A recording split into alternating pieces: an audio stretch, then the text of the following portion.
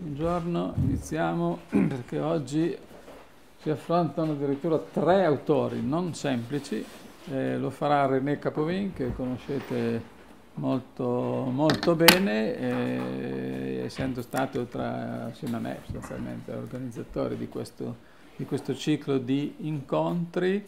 Eh, René ha il merito di avere tradotto, è giusto, mm. il libro di Dessertot di cui parlerà e che è un libro veramente fondamentale per chi vuole cercare di capire qualcosa di questo evento così distrattato sinora dalla storiografia, poi in altri campi no.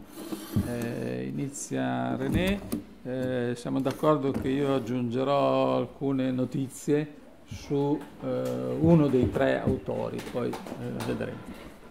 Sì.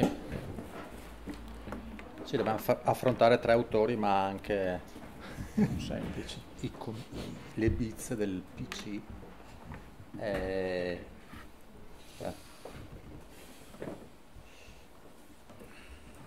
vabbè.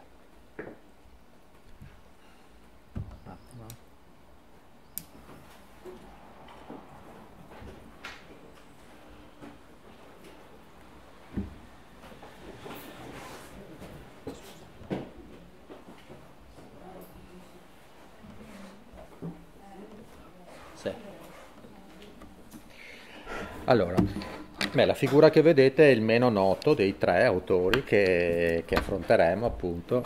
Eh, si chiama Michel Dessertot. Eh, gli altri due autori sono Pierre Bourdieu e Cornelius Castoriadis. Allora, l'accento intanto più che su uno dei tre autori andrebbe messo sulla seconda parte del titolo, cioè interpretazioni francesi del 68.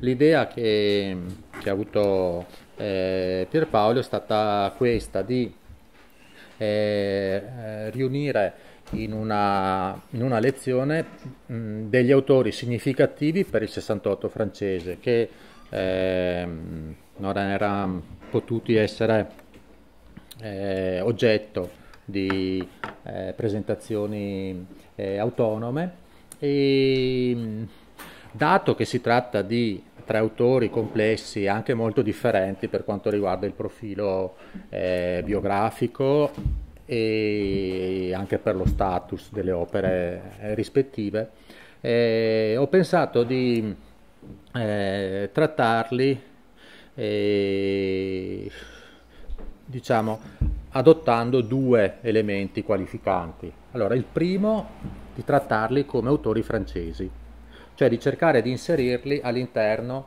eh, della eh, storia della Francia degli anni eh, 60-70. il secondo, lo, uh, la seconda decisione è stata quella di non porli sullo stesso piano, cioè io darò una priorità a Dessertot, all'opera di Dessertot, partiremo dal testo di Dessertot, per questo abbiamo stampato una serie di passi scelti dal, dal libro La presa della parola di cui ha già eh, parlato Pierpaolo e diciamo che quella lì sarà eh, la base a partire dalla quale andremo a situare soprattutto gli altri due autori, cioè Bourdieu e Castoriadis. In questa maniera quello che posso già anticiparvi è che eh, avremo una presa di visione più ravvicinata di eh, Michel Dessertot, che come ho detto è l'autore meno noto, ma forse per quanto riguarda lo specifico del 68 più ricco e più interessante per il tipo di opera che, che ha lasciato. E, ehm, quindi avremo un punto di vista più ravvicinato su, su Dessertot, eh, gli altri due autori sono veramente due giganti del, del pensiero e quindi eh, più che Pierre Bourdieu e Cornelius Castoriadis avremo due figure, spero non due maschere, di questi due autori, cioè li collocheremo all'interno della prospettiva aperta dal libro di, di Dessertot. E quindi quando citeremo Bourdieu e quando citeremo Castoriadis, un po' faremo riferimento a quello che questi due autori hanno veramente detto e un po' li connoteremo anche e soprattutto a partire dalla eh, prospettiva aperta dall'opera eh, di, di Desserteau. Questo lo dico anche perché se ci sono eh, esperti di Bourdieu e soprattutto di Castoriadis presenti o in ascolto e visione, ecco, siano eh, pazienti perché saranno poco più che delle citazioni di questi due autori all'interno del, del discorso reso possibile dal testo di, di Desserteau. Come ho detto, quindi, si parte da Desserteau, ma si parte anche allo stesso tempo dalla Francia, perché un elemento da, da sottolineare, anche in chiave proprio didattica, è che la, il caso francese è storicamente eh, un caso molto vicino alla, alla, realtà italiana, sentito come molto vicino alla realtà italiana, non solo per quanto riguarda il 68, ma, ma in generale. È stato eh, spesso un modello da vari punti di vista, in primis quello eh, giuridico e, e, e, politico. Come in quel caso, anche nel caso del, del 68, le continuità rischiano spesso di mettere tra parentesi o di sottovalutare le discontinuità e le differenze. In realtà anche nel 68 il caso francese ha degli elementi di forte singolarità e differenza rispetto alla, al caso italiano e questo sarà un elemento che ogni tanto uscirà insomma, all'interno della, della, relazione. Quindi, visto Desserteau, eh, passiamo all'opera che sarà un po' la, la, base soprattutto della prima parte della relazione. Allora è un'opera, eh, la prise de parole, la presa della parola. Eh, allora la presa della parola, la traduzione italiana comprende dei testi usciti alla fine del 68 e raccolti in questo, eh, eh, in questo libro che vedete a sinistra in, in, francese. Quindi c'è una parte che è uscita subito, alla fine del 68. Poi il libro italiano raccoglie anche una serie di, di testi scritti successivamente, ma che la curatrice dell'opera di Desserteau, Luce eh, Giard, ha pensato di, eh, di includere per continuità tematica. È una continuità anche qua particolare perché per esempio la seconda parte del, dell'opera è completamente dedicata al Sud America. Questo lo vedremo non è un atto arbitrario, anche una, è una scelta molto significativa, perché effettivamente eh, l'opera di Desserteau ha toccato anche le questioni religiose e politiche del, del, dell'America Latina. Allora, ho preparato, vabbè, ormai ci siamo ormai conosciuti attraverso queste lezioni, quindi eh, mi permetto anche di fare dei rimandi a lezioni scorse. Questa era una, un'immagine che avevamo eh, eh, utilizzato nella, nell'incontro sul situazionismo. Eh, giusto per dare un po' il, la cornice all'interno del quale accade il 68 e accade la, l'opera di, di Desserteau. Eh, avevamo detto al tempo che eh, uno degli elementi eh, caratterizzanti il contesto all'interno del quale capita il 68 è il pieno radicamento della società dei consumi. Ecco, in Francia, la Francia si caratterizza per aver eh, prodotto le, beh, non le prime forse, ma, ma direi le più significative analisi della società dei consumi, con due opere che sono diventate anche molto note, la prima di Roland Barthes, Teologie, tradotto in italiano Miti d'oggi, e, e, poi proprio l'opera di Baudrillard che è del 70 ma è stata scritta in, realtà a metà degli anni, degli anni 60 composta e poi scritta a partire dalla metà degli anni 60 che proprio prende, riprende la formula società dei consumi. E quindi siamo nella casa non, non, tanto del, eh, dello sviluppo della società di consumi, che era una caratteristica di tutto il mondo occidentale, ma nel contesto in cui quell'oggetto lì, quel fenomeno lì è stato analizzato in maniera forse più, più sistematica e innovativa. E, ecco, un altro elemento da tenere a mente nel trattare il 68 francese, un aspetto che viene spesso eh, lasciato in, in, secondo piano, ma che invece per esempio distingue in maniera molto forte la, il contesto francese da quello italiano, cioè la crisi algerina. È stata per du, almeno due motivi. Eh, lo shock politico segnato dalla, eh, dall'inizio della eh, guerra d'Algeria e le fratture del campo intellettuale. Cioè, mentre allora, il primo aspetto, quello politico-militare, lo vedremo subito dopo, è abbastanza eh, intuibile, è stata una guerra sanguinosissima, sanguinosissima, lunga, durata vari, vari anni, eh, che ha portato a un profon- profondo eh, eh, cambiamento de, proprio del sistema istituzionale eh, francese in risposta all'inizio della crisi eh, d'Algeria, e, mh, che ha visto tra l'altro eh, muoversi anche a livello politico-militare degli attori molto importanti della storia politica francese successiva, questo lo vedremo tra poco. Dal punto di vista intellettuale, questo da tenere presente.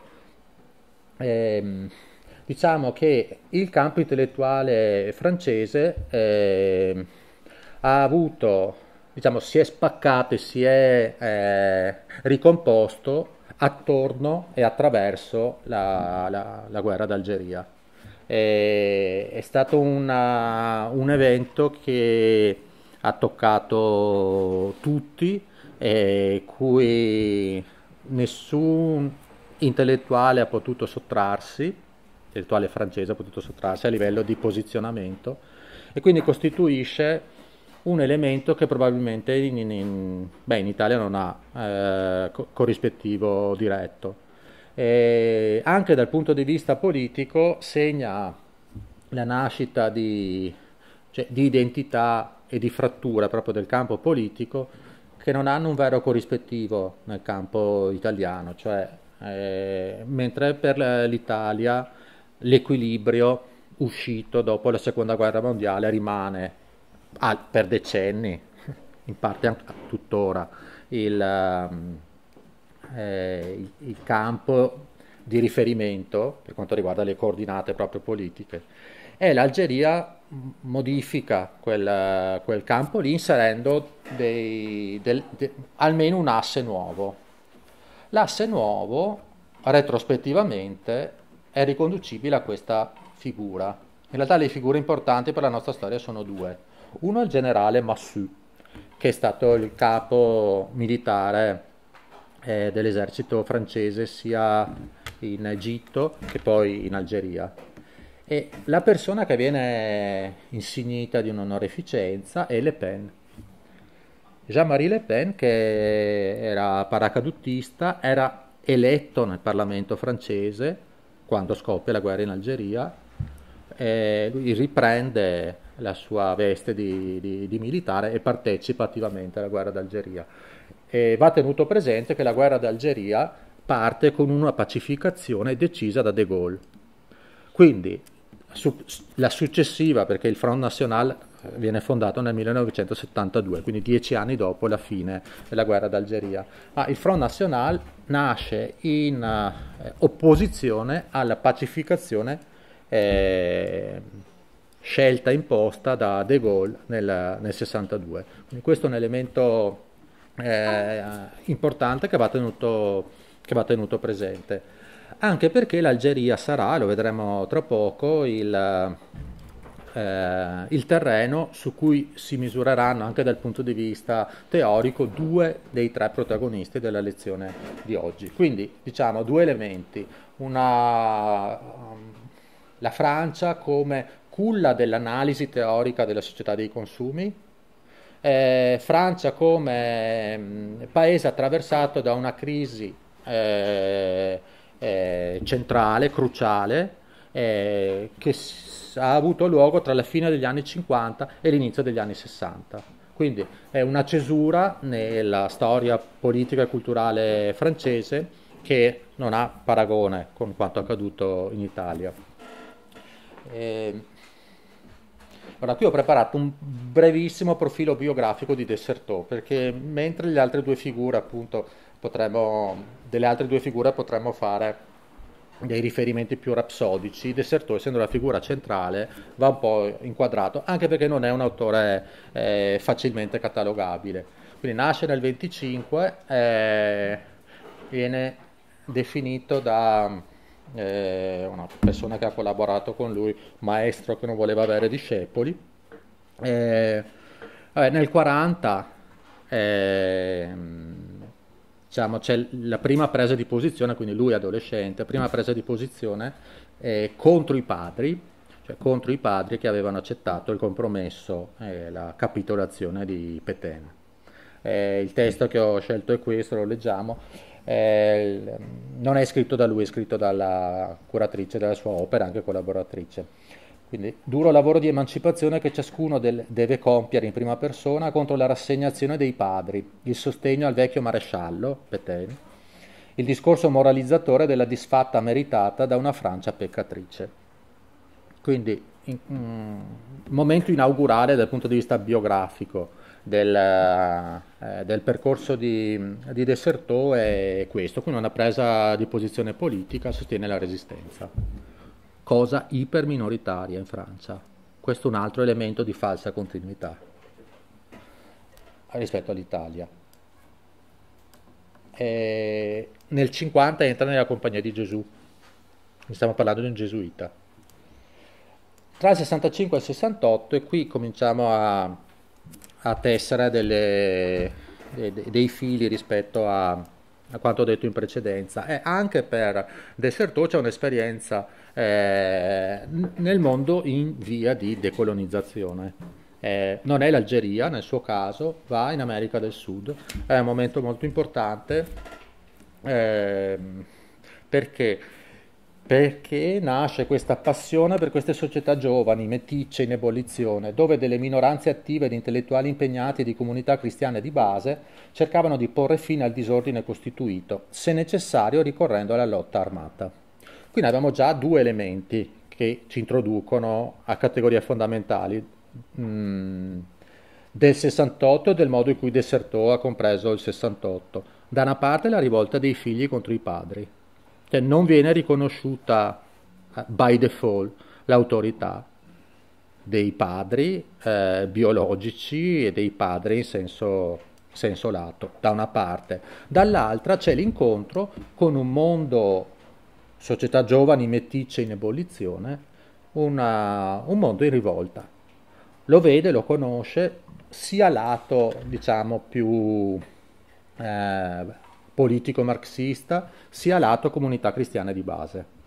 Questi sono i due eh, elementi anche bi- biografici che inquadrano quello che vedremo poi, che leggeremo poi eh, sul suo modo di eh, arrivare e descrivere il 68. Ecco, qua per chiudere già il cerchio vi indico al, il titolo del suo libro più famoso. Io ho detto che Desertò è il meno famoso dei tre, ed è vero, però ha fatto un libro nel 1980, questo è l'invenzione del quotidiano, che è diventato veramente molto importante in chiave soprattutto accademica, ma non solamente in Francia, ma negli Stati Uniti. Questa è una caratteristica sua, cioè lui è diventato famoso con questo libro, che è diventato una specie di punto di riferimento per gli studi culturali e una certa variante de, del postmodernismo. Eh, in quegli anni lì, insomma, da partire dagli anni 80, in Italia è diventato veramente famoso verso la metà anni 80, da metà anni 80 in poi ha avuto il suo apice, direi verso fine anni 80, inizio anni 90, poi nel corso degli anni 90 si è un po' eh, forse affievolito. Eh, però diciamo che nell'ambito degli, eh, degli studi urbani, eh, studi culturali, antropologia, insomma è diventato un autore non famosissimo, ma insomma eh, rilevante. Ecco, la caratteristica sua è che è diventato eh, molto noto anche negli Stati Uniti, questo non è mai ovvio, insomma, fa parte del suo uh, suo particolare percorso, insomma, di aver sfondato eh, là. quindi sopra è stata tradotta in, eh, in inglese e ha avuto molta circolazione. Cosa dice quest'opera? Bene leggere l'impostazione generale, poi non ne parleremo più. Però nella quarta di copertina della prima edizione sta scritto la ragione tecnica crede di sapere come organizzare al meglio le cose e le persone, assegnando a ciascuno un posto, un ruolo dei prodotti da consumare. Ma l'uomo ordinario si sottrae in silenzio a questa messa in forma.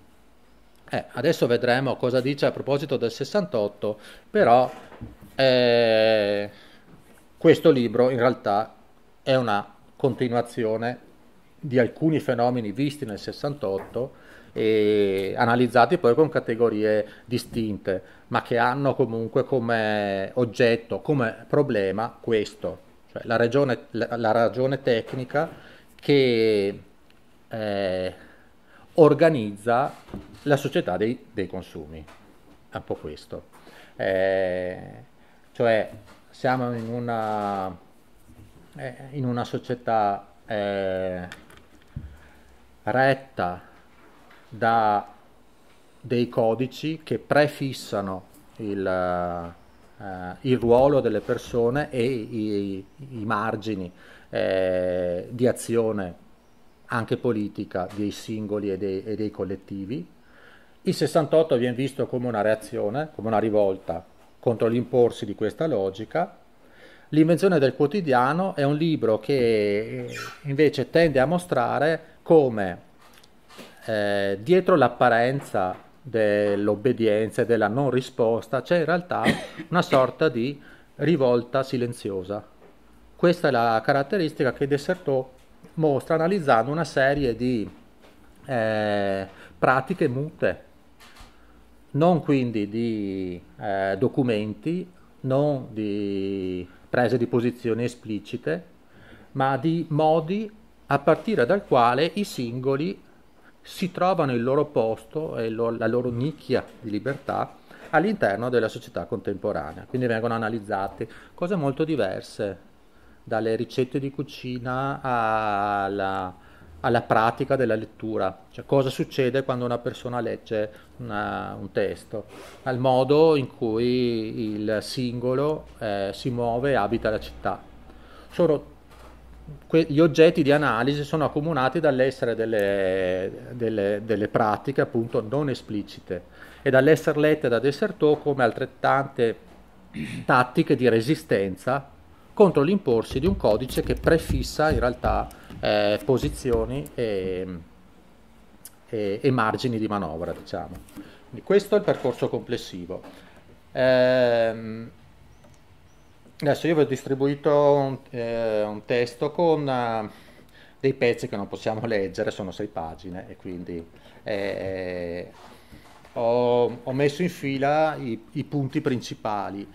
Ma io sarei però per leggere almeno al, alcuni di questi passi perché così eh, cominciate a conoscerlo anche, anche meglio. Eh, è un autore relativamente facile, eh, come, come, vedrete sono, sono testi che hanno anche una forte carica poetica in vari, in vari passaggi, non sono pezzi di teoria, sono delle, delle mm, prose appunto attraversate da una forte vena anche, anche poetica e sono, hanno il registro della riflessione e aiutano secondo me a, a, a riflettere. Ora vediamo il primo, il primo, testo. Allora, il dopo si ricollega al prima. Questo è il problema di, di, di Desertò. Lui scrive dopo che eh, eh, gli eventi del maggio si sono già esauriti. Era quasi impossibile non farlo, perché questa è un'altra cosa che va detta. Il maggio francese dura il maggio, eh, dura pochissimo il fine maggio, il 30 maggio, poi lo vedremo, la persona che aveva messo fine alla guerra d'Algeria con la pacificazione, De Gaulle, ora, è al potere anche nel 68, è il presidente. Alla fine del, del maggio, il 30 maggio, De Gaulle, dopo un momento di crisi, che vedremo in, in seguito, eh, fa un discorso alla nazione in cui eh, proclama eh, prossime elezioni che saranno f- fatte a, a, a, fine giugno.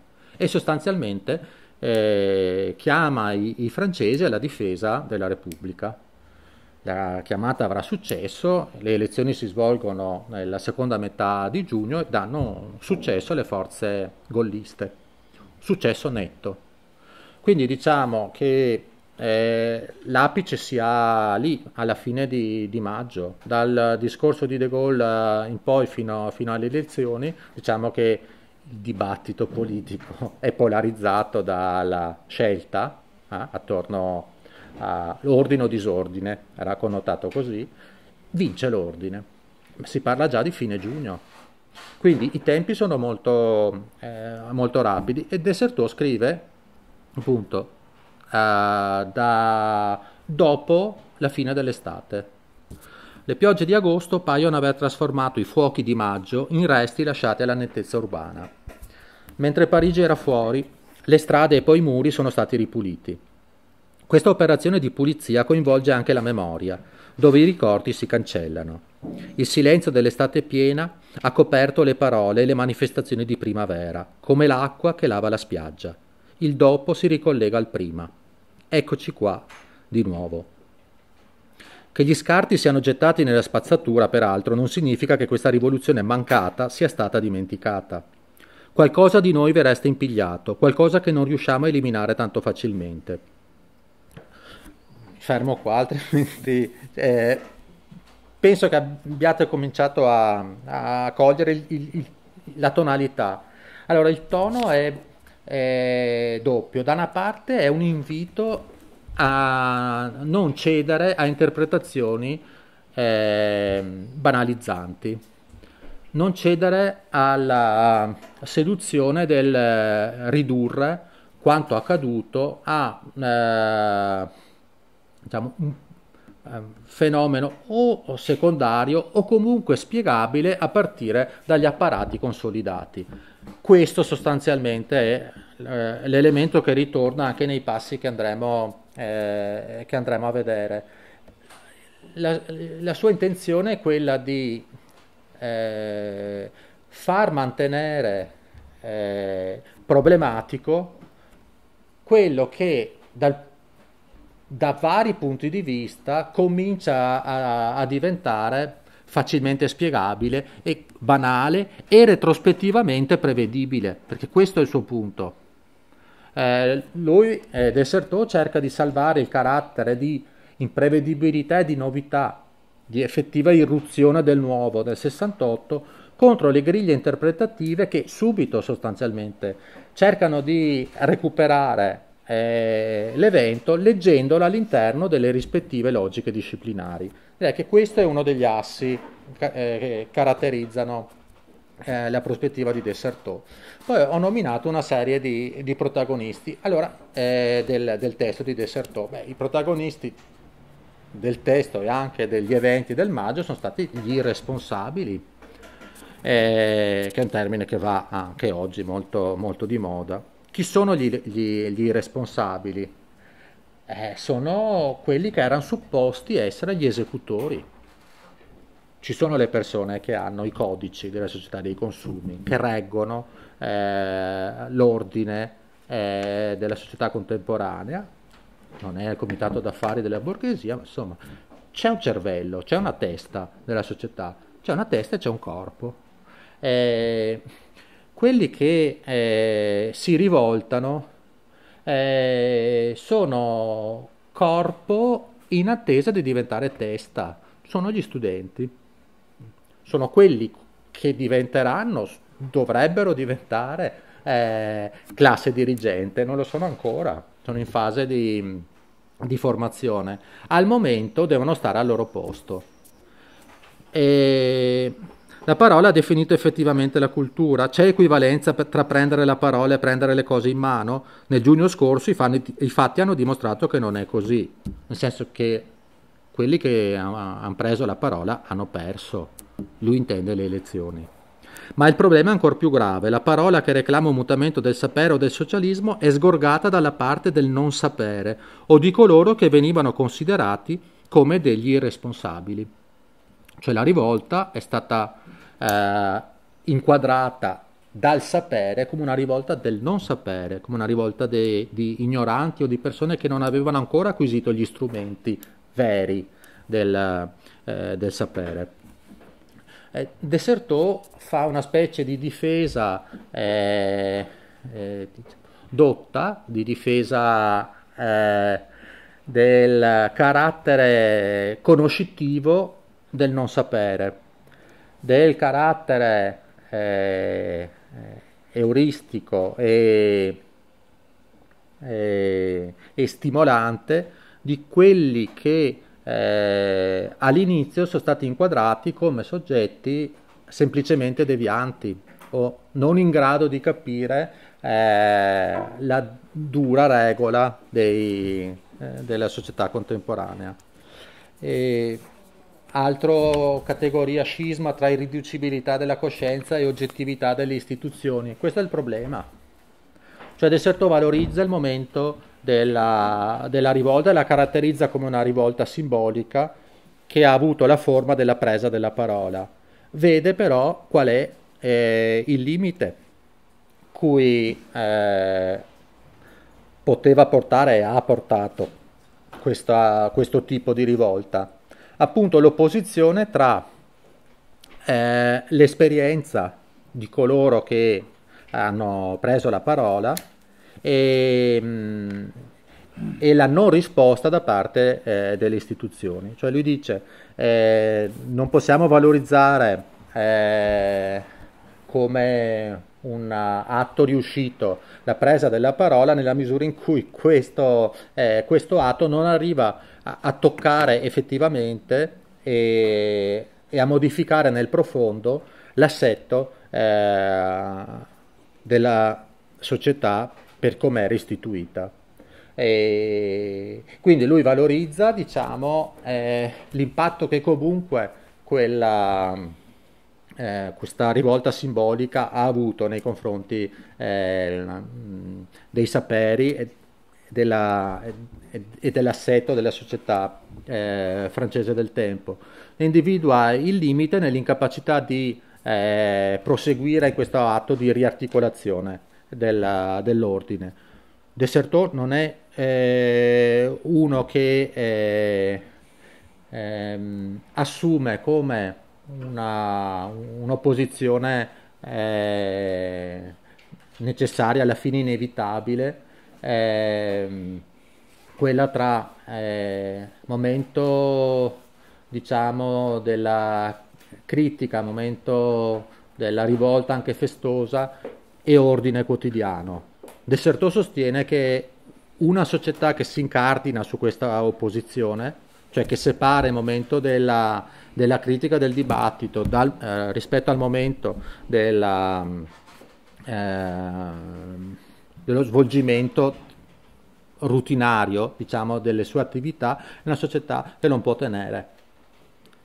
Eh, e, e, per questo il, il, ehm, la forma che ha assunto il, eh, il maggio in, eh, in Francia è, ha per lui una per lui una, manif- è per lui anche la manifestazione di un limite proprio perché questi due termini eh, rimangono irrelati mm. eh, la presa della parola beh questo è un pezzo che vale la pena di, di leggere anche perché molto felice dal punto di vista della scelta dei, dei termini e delle immagini. Allora, lo scorso maggio la parola è stata presa come nel 1789 è stata presa la Bastiglia. La piazzaforte occupata è quel sapere detenuto dai dispensatori di cultura, destinato a mantenere l'integrazione o la reclusione di studenti, lavoratori e operai entro un sistema che prestabilisce la loro funzione. Dalla presa della Bastiglia alla presa della Sorbona, tra questi due simboli vi è una differenza essenziale che marca l'evento del 13 maggio 1968. Oggi è la parola essere stata liberata. Eh, punto successivo, teoria ed evento, è un aspetto che ho già eh, citato, cioè uno dei suoi eh, problemi è, è, questo. Che rapporto assume la, la, teoria, il modo in cui pensiamo eh, eh, eh, l'evento rispetto al carattere di novità e di imprevedibilità dell'evento stesso. Eh, qui Desertò, lo vedremo meglio più tardi, assume una posizione critica rispetto a praticamente tutte le griglie interpretative che sono state messe in campo allora. La cosa che lo caratterizza, che, che qualifica anche il modo in cui guarda all'evento, è il suo carattere, diciamo, umile. Cioè eh, nel, nel un paio di capitoli passa in rassegna con brevissime eh, recensioni o brevissimi inquadramenti ehm, decine e decine di opere che eh, prendono ad esame il, il, 68. Quindi fa una specie di, eh, di, esame, tra virgolette, orizzontale dei colleghi che eh, hanno come lui lo stesso oggetto, che adottano delle, delle griglie interpretative diverse e lui fa qui un'opera un po' di mediazione, cioè cerca di eh, condividere con, eh, con, il lettore le, le sue linee interpretative di quella che è la storiografia del 68 che comincia praticamente con col 68 stesso. Quindi fa anche un lavoro di servizio fa un lavoro quasi di eh, sì spesso queste cose qua non vengono pubblicate in realtà questa è una caratteristica sua di portare alla pubblicazione dei pezzi di, di lavoro eh, che spesso vengono lasciati nella retrobottega dell'opera eh, vera e propria Beh, qui dobbiamo correre un, un, po' e i testi li avete anche per, uh, per casa. Diciamo che due o tre cose che sono da sottolineare eh, sono, beh, intanto qui il punto 6, innovazione, regressione o marginalizzazione. Qua Desertò fa un ragionamento sul eh, percorso che deve prendere in una società l'innovazione come vedremo anche in un punto successivo, ehm, il discorso che, che, fa ha come base empirica un po' gli eventi del, del maggio, ma molto questo, quello che ha visto in America Latina. Ehm, cioè, lui dice che la novità fa sempre fatica a imporsi in, una, in un ordine costituito.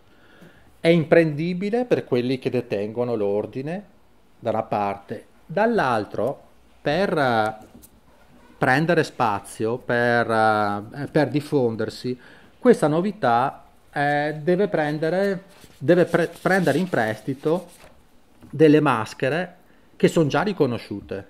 Quindi in, un certo, in, una certa misura Desertò sostiene che è inevitabile una, una sorta di automascheramento della, della novità e le due eh, tendenze che individua sono la regressione, cioè il fare riferimento ad, ad eventi, a movimenti passati, una cosa che nel 68 c'è praticamente subito, il rifarsi alla comune, rifarsi a Fourier o a insomma citare dei, dei movimenti e delle azioni passate per legittimarsi oppure marginalizzarsi e questo è il rischio che vede Desertò, ghettizzarsi. Quindi la Sorbona a un certo punto viene, viene presa, ma allo stesso tempo è il luogo in cui ci si rinchiude. Quindi allo stesso, allo stesso momento l'atto con cui eh, si conquista una, un luogo diventa anche il, il, momento in cui si rischia, poi che è quello che succede, di rinchiudersi in quel luogo lì e di non riuscire più a incidere eh, sull'esterno. Eh, altri punti. Ecco, cosa vuole il 68? Cosa dice? Questo è un, un elemento importante. Presa della parola. Uno si potre, potrebbe pensare che Desertò analizzi eh, quello che le figure più significative del movimento dicono. In realtà dice l'opposto. Cioè la presa della parola si distingue eh, viene valorizzata, ma va distinta dal contenuto che, eh, de- dei discorsi che vengono fatti dalle varie persone che, che, prendono la parola. Perché?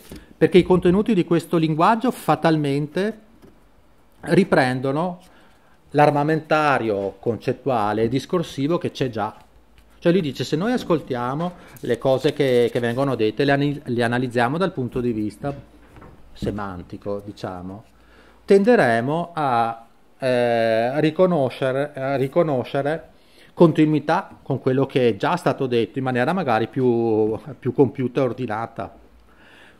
Quello che dice Dessertò è che la presa della parola è importante perché permette un cambiamento di registro, ma lasciando le note come sono. Le note sono le categorie, sono i concetti.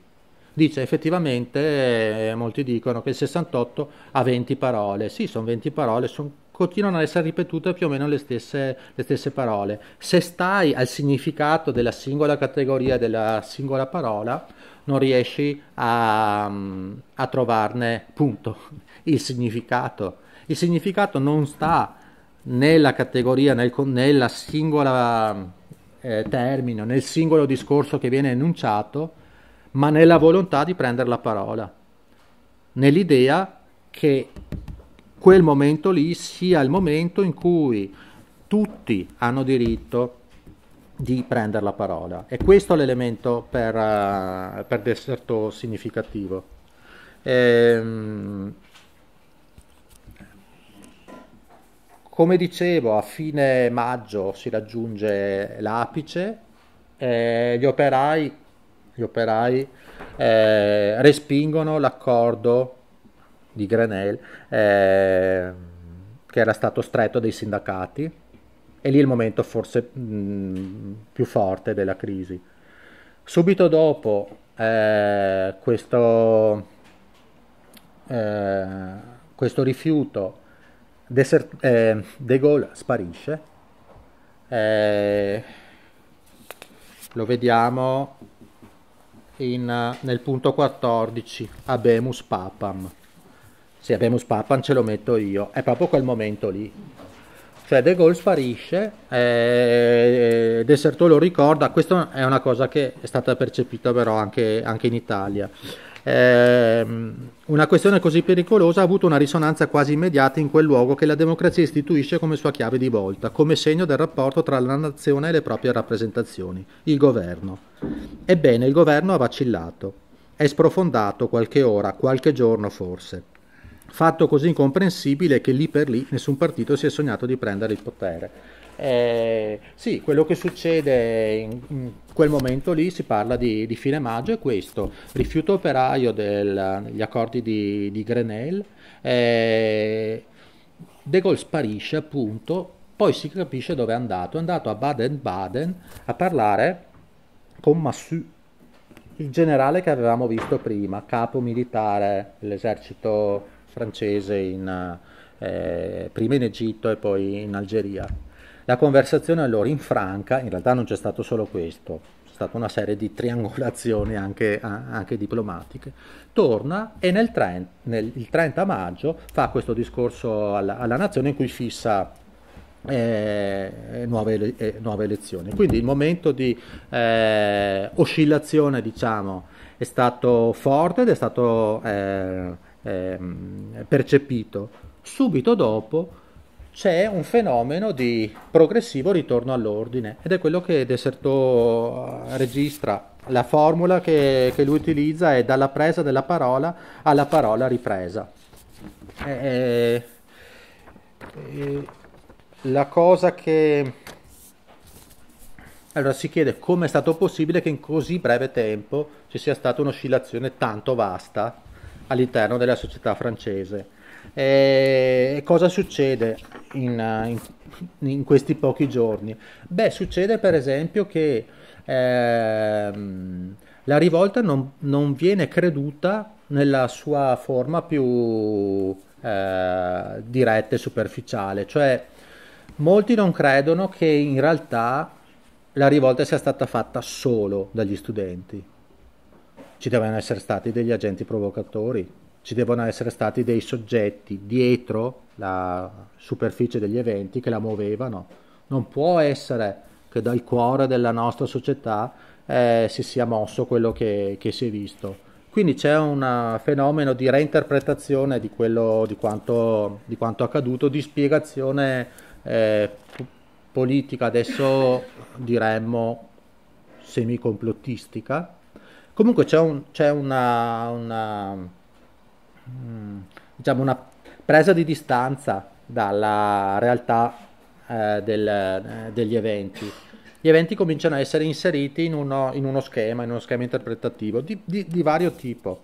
La, um, va ripetuto questo, questo, paragrafo in cui Desertò caratterizza la, la, il carattere, eh, la forma beh, inaccettabile dal punto di vista della, beh, di molti intellettuali anche di molti politici del, del 68. Allora, rivolta all'autorità in nome di ciò che costituisce la sua legittimità. Tale messa in questione era raddoppiata, sono al punto 15, dalla contestazione portata dalla rivolta dei figli alla generazione dei padri. La minaccia, in questo come nell'altro caso, veniva dall'interno coccolati come surrogati di quella felicità da cui gli adulti sono distolti a causa del loro lavoro, ma anche destinati a dimostrare attraverso la loro attesa iniziatica il valore della società che è loro preparata, i rampolli di una cultura, i privilegiati di un sistema, erano proprio coloro che si rivoltavano contro il ruolo preassegnato di essere, per mezzo di una vacanza indefinitivamente prolungata, la sicurezza dei possidenti, l'alibi di un presente altrimenti privo di senso e i garanti di uno sviluppo omogeneo. Quindi quello che ho eh, definito la rivolta degli eredi, il motivo per cui utilizzo il termine eredi lo vedrete tra poco eh, carattere simbolico delle, delle, elezioni con fortissimi echi nella contemporaneità italiana eh, mm. o in quella che dovrebbe essere il futuro prossimo italiano. Cioè le elezioni non sono state eh, elezioni in cui si è votato un partito o un programma, si è votato per l'ordine. E in questo sono state la, eh, la risposta simmetrica rispetto alla presa della parola. Mm? Siamo verso la, la, fine. Come sfuma il 68? Sfuma attraverso il ritorno del linguaggio, cioè la presa della parola che è parola parlata, che è parola vuota, nel senso che è più importante il gesto della presa della parola che, che il, il, contenuto. Diventa eh, egemonia del testo scritto, diventa dominio dell'interpretazione, quello che Deserto chiama il ritorno del linguaggio. Bisognerà presto scrivere dei libri su questa marea di libri. La massa dei prodotti offerti al consumo è enorme. La lettura privata subentra alle assemblee pubbliche, l'informazione libresca a quella della radio, immediata e brutale. Questa letteratura silenziosa che avvolge l'evento è a ben guardare rivelatrice. In maggio il silenzio degli uni si combinava con la presa di parola degli altri, rapporto che in giugno si è rovesciato. E stiamo passando alla seconda parte del, del, dell'intervento, cioè gli altri due autori, che entrano qua. Cioè a un certo punto Desertot analizza le cronache del 68, i, ehm, le strisce di cartoni animati, eh, analizza una serie di tipologie di opere. A un certo punto eh, arrivano i tenori del pensiero, che è una formula che mi pare particolarmente indovinata. Dopo i cronisti, gli ammassatori di documenti e quelli che li, collezio- coll- e quelli che li collezionano mettendoli nei frigoriferi da cui si riforniranno i lettori. Dopo i militanti che si battono con gli iscritti quando la parola è stata loro tolta o che ricostituiscono una politica con i resti del mese di maggio, alla fine arrivano quelli che spiegano, i tenori del pensiero, quelli da cui noi, beh, da cui noi ci attendiamo che ci facciano finalmente capire. Quattro maestri, quattro seduttori, eh, il polemologo, vabbè, un triumvirato di sociologi, un'eminenza della sociologia politica, uno psicologo. Eh, voi non lo sapete ancora, ma nel triumvirato di sociologi eh, c'è anche Castoriadis. E, ehm, le parole che vengono dedicate a Castoriadis sono poche, eh, sono tre righe. Jean-Marc Coudray, che è lo pseudonimo, pseudonimo ha usato quasi sempre pseudonimi fino a metà degli anni 70, Castoriadis. Ha una prospettiva più costruttiva, cerca di capire come un cambiamento qualitativo possa non essere separato da un'organizzazione del quantitativo. Non accetta che la razionalità e l'immaginazione si escludano a vicenda. Eh, eh, lo vedremo poi. Eh, diciamo che sono anche i, eh, il triunvirato di sociologi sì, è introdotto in maniera sarcastica. In realtà, e sarà la conclusione del mio intervento quando poi darò la parola a Pierpaolo, in realtà la continuità tra, quello, tra il modo in cui eh, Desertò coglie l'evento e il modo in cui Castoriadis reagisce in presa diretta con, uh, con l'evento è molto forte molto più forte di quel che uno potrebbe pensare leggendo questa, eh, questa descrizione. E vabbè, la fine della parte su Desertò eh, può essere eh, lasciata a questo testo, appunto, perché l'immagine anche qua è, è, è riuscita. Chini sul motore. I libri sul maggio si fissano intorno a questa articolazione alla ricerca del giunto mancante o insufficiente ci si china sul motore. Ciascuno ha la sua opinione e designa la causa di tutto il male. Sotto questo aspetto la vera letteratura sul maggio è già ora costituita in misura minore dalla lettura che ne parla. Dopo un primo periodo, questo è molto importante, dopo un primo periodo, quello dei cronisti e delle reazioni difensivo-apologetiche, dopo un secondo tempo di analisi centrate sull'evento, arriva ora per ogni scienza umana e ogni istituzione un periodo di ritorno su di sé, quindi da un certo punto in poi i libri non sono più sul 68, ma sono sul modo in cui la disciplina alla quale si appartiene ha saputo reagire o non ha saputo reagire con prestazione te- teorica al, all'evento. Quindi è un inizio di chiusura su se stesso del, del discorso sul 68. E chiudiamo qui questa lunga uh, fase e passiamo agli altri due autori che nella commedia, diciamo, eh, eh, giocano due parti opposte. Allora, tra i, i tenori del pensiero, Bourdieu non c'è. Questa è un'assenza che va molto sottolineata. Bourdieu è stato l'unico intellettuale di un, di un, certo rilievo a non prendere posizione sul 68, sugli eventi del, del maggio. Bourdieu era a Parigi in quel, me, in quel, mese lì ed era già, lo vedremo, era già un autore importante. Quindi la caratteristica di Bourdieu è di non esserci nel, nel 68, perlomeno come presa di posizione diretta. C'è stato in realtà Bourdieu nel 68 eh, nonostante lui, facciamo una piccola. Allora, questo è De Gaulle. Qua è un fotogramma sua, eh, del suo discorso del, del, del 30 maggio.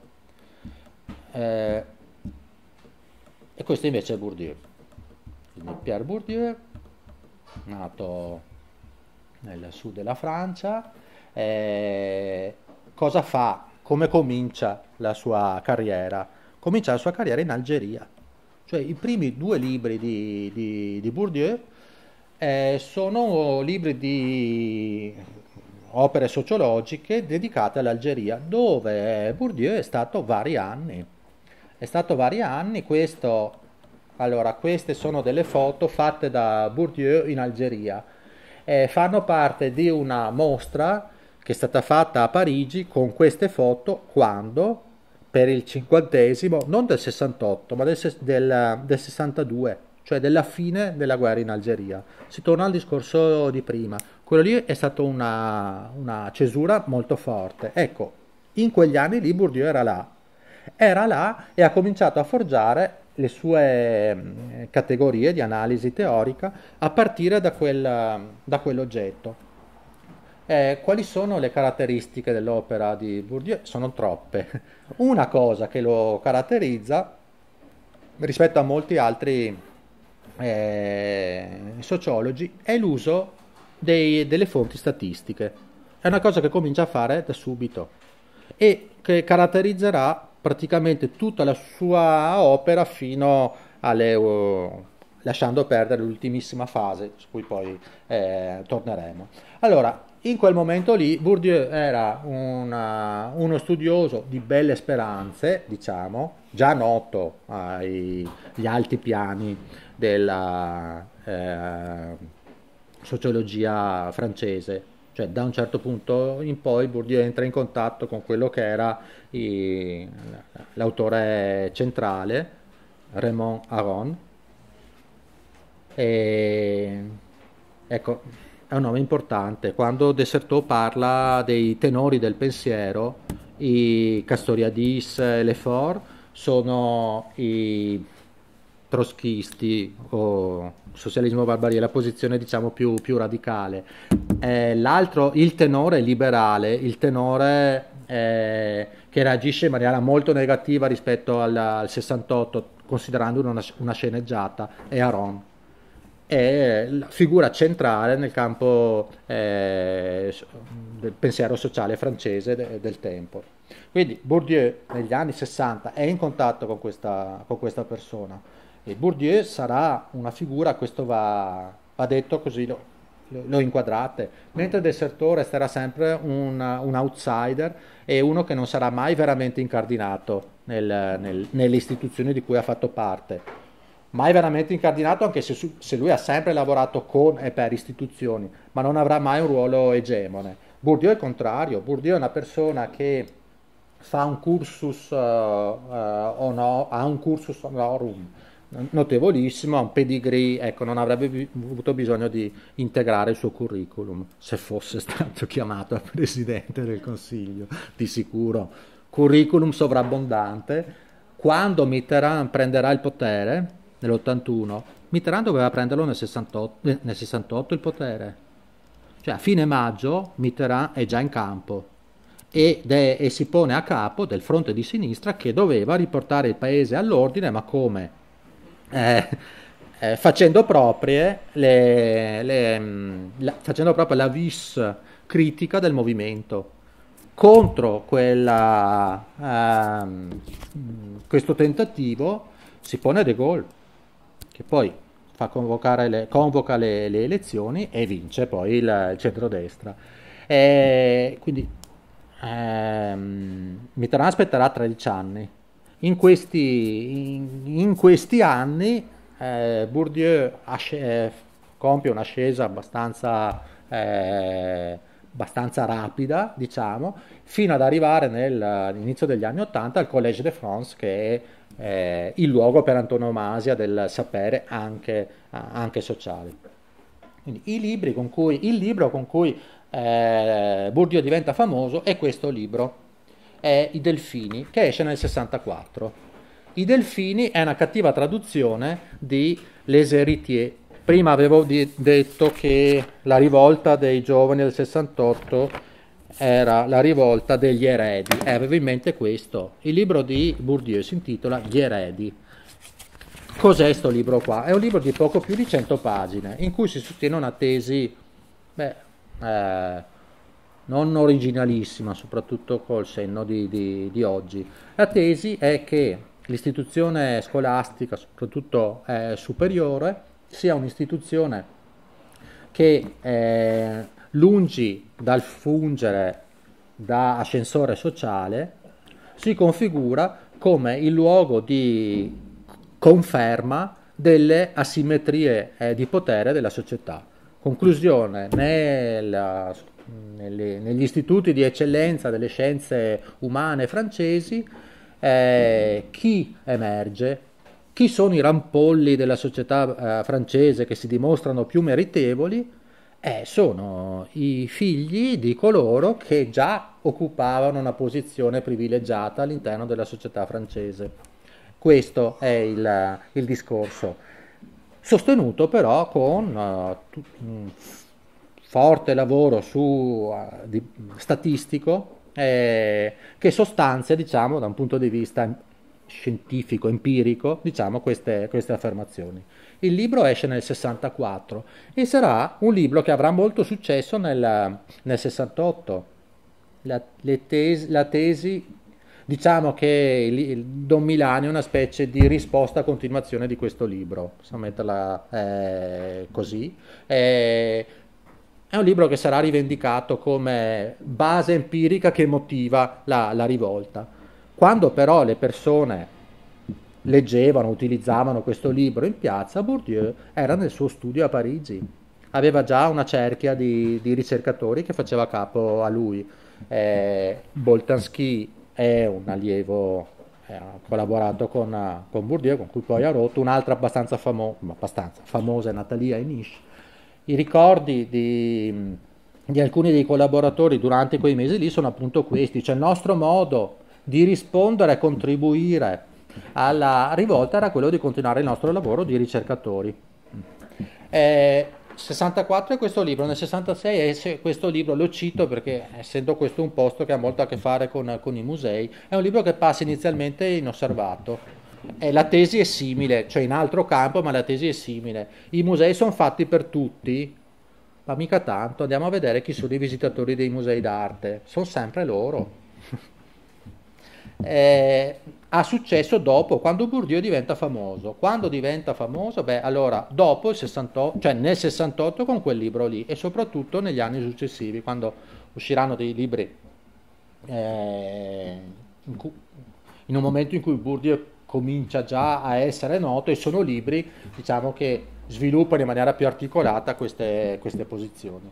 Allora, qua metto due, due riferimenti per far capire la posizione di, eh, di Bourdieu nel, nel, 68. Allora, come ho già detto, Bourdieu aveva dei contatti proprio scientifici, accademici con, con Aron. Eh, rompe con Aron nel 68, ma non per questioni che riguardano eh, gli, gli, eventi, per mm, altro, altro, aspetto. E, mh, mm, sì, va, va ricordato questo libro, che è una, la, la base intellettuale nel 68 della, mm, della reazione accademico-scientifica contro il 68, è il libro più rilevante. Dall'altra parte vedete Sartre. Ecco, il Sartre nel 68 è l'oggetto di una critica serrata da parte di Bourdieu, non subito. Come ho detto, Bourdieu nel, nel 68 sta zitto, sul 68 ne parlerà dopo, sarà l'esempio di quello che Bourdieu chiama l'intellettuale totale, che è una figura per Bourdieu caricaturale, cioè è il, uh, il ruolo che l'intellettuale non dovrebbe svolgere. Eh, sono vari, varie le cose che l'intellettuale non dovrebbe fare per Bourdieu. Una è questa, cioè eh, giocare la propria, non il proprio sapere, ma la propria notorietà eh, fuori dal, dal, proprio ambito di lavoro. Eh. Quindi eh, la risposta muta data da Bourdieu a, a, Sartre in quel momento lì era ecco tu monti su e fai una dichiarazione di adesione alla, alla lotta a cui tra l'altro gli studenti risponderanno grazie papà, grazie papà Sartre. Con, e io studio, studio il mio, studio il mio, cerco di eh, capire, spiegare anche cosa, cosa, sta accadendo. Il mio contributo, tra virgolette, alla, alla, alla società alla, è, è, un contributo di eh, trasparenza, dare mezzi perché la società eh, capisca quali sono le dinamiche reali che, che la attraversano posizione sostanzialmente è questa. Come eh, la, la, parabola successiva di Bourdieu vale la pena dirla perché noi dobbiamo mettere qua a, a fuoco una traiettoria intellettuale, una appunto l'ho, l'ho, detto in maniera anche un po' autoironica, autocritica, la maschera in commedia, la maschera in commedia di, nella, nella commedia che io sto, sto, costruendo di Bourdieu qual è? Eh, è quella del, eh, del ricercatore che sostanzialmente eh, smaschera eh, l'ideologia della società meritocratica e egualitaria. Smaschera quell'ideologia lì. ma rende allo stesso tempo molto difficile pensare un'azione sociale critica fondata sulle tesi eh, che vengono che sostanziano questa, eh, quest'opera. È, un, è, un'opera abbastanza paradossale. La riprova è che Bourdieu è spesso scambiato per un barricadero. Questo soprattutto con uh, il, il, senno del, del, di, di, oggi, sapendo cosa capita negli anni 90, ci arriviamo tra, tra un po'. Però, diciamo, mentre Bourdieu funziona molto bene, eh, per criticare le pretese appunto eh, ehm, di emancipazione insite nei, nel sistema educativo, per esempio, ma non solo, della società moderna, è molto più difficile tirar fuori dalle tesi di Bourdieu una base che, ti, che, che, che permetta di armare un movimento critico. Molto difficile. Eh, questo è possibile solo dimenticandosi pezzi di quello che, eh, che, dice Bourdieu.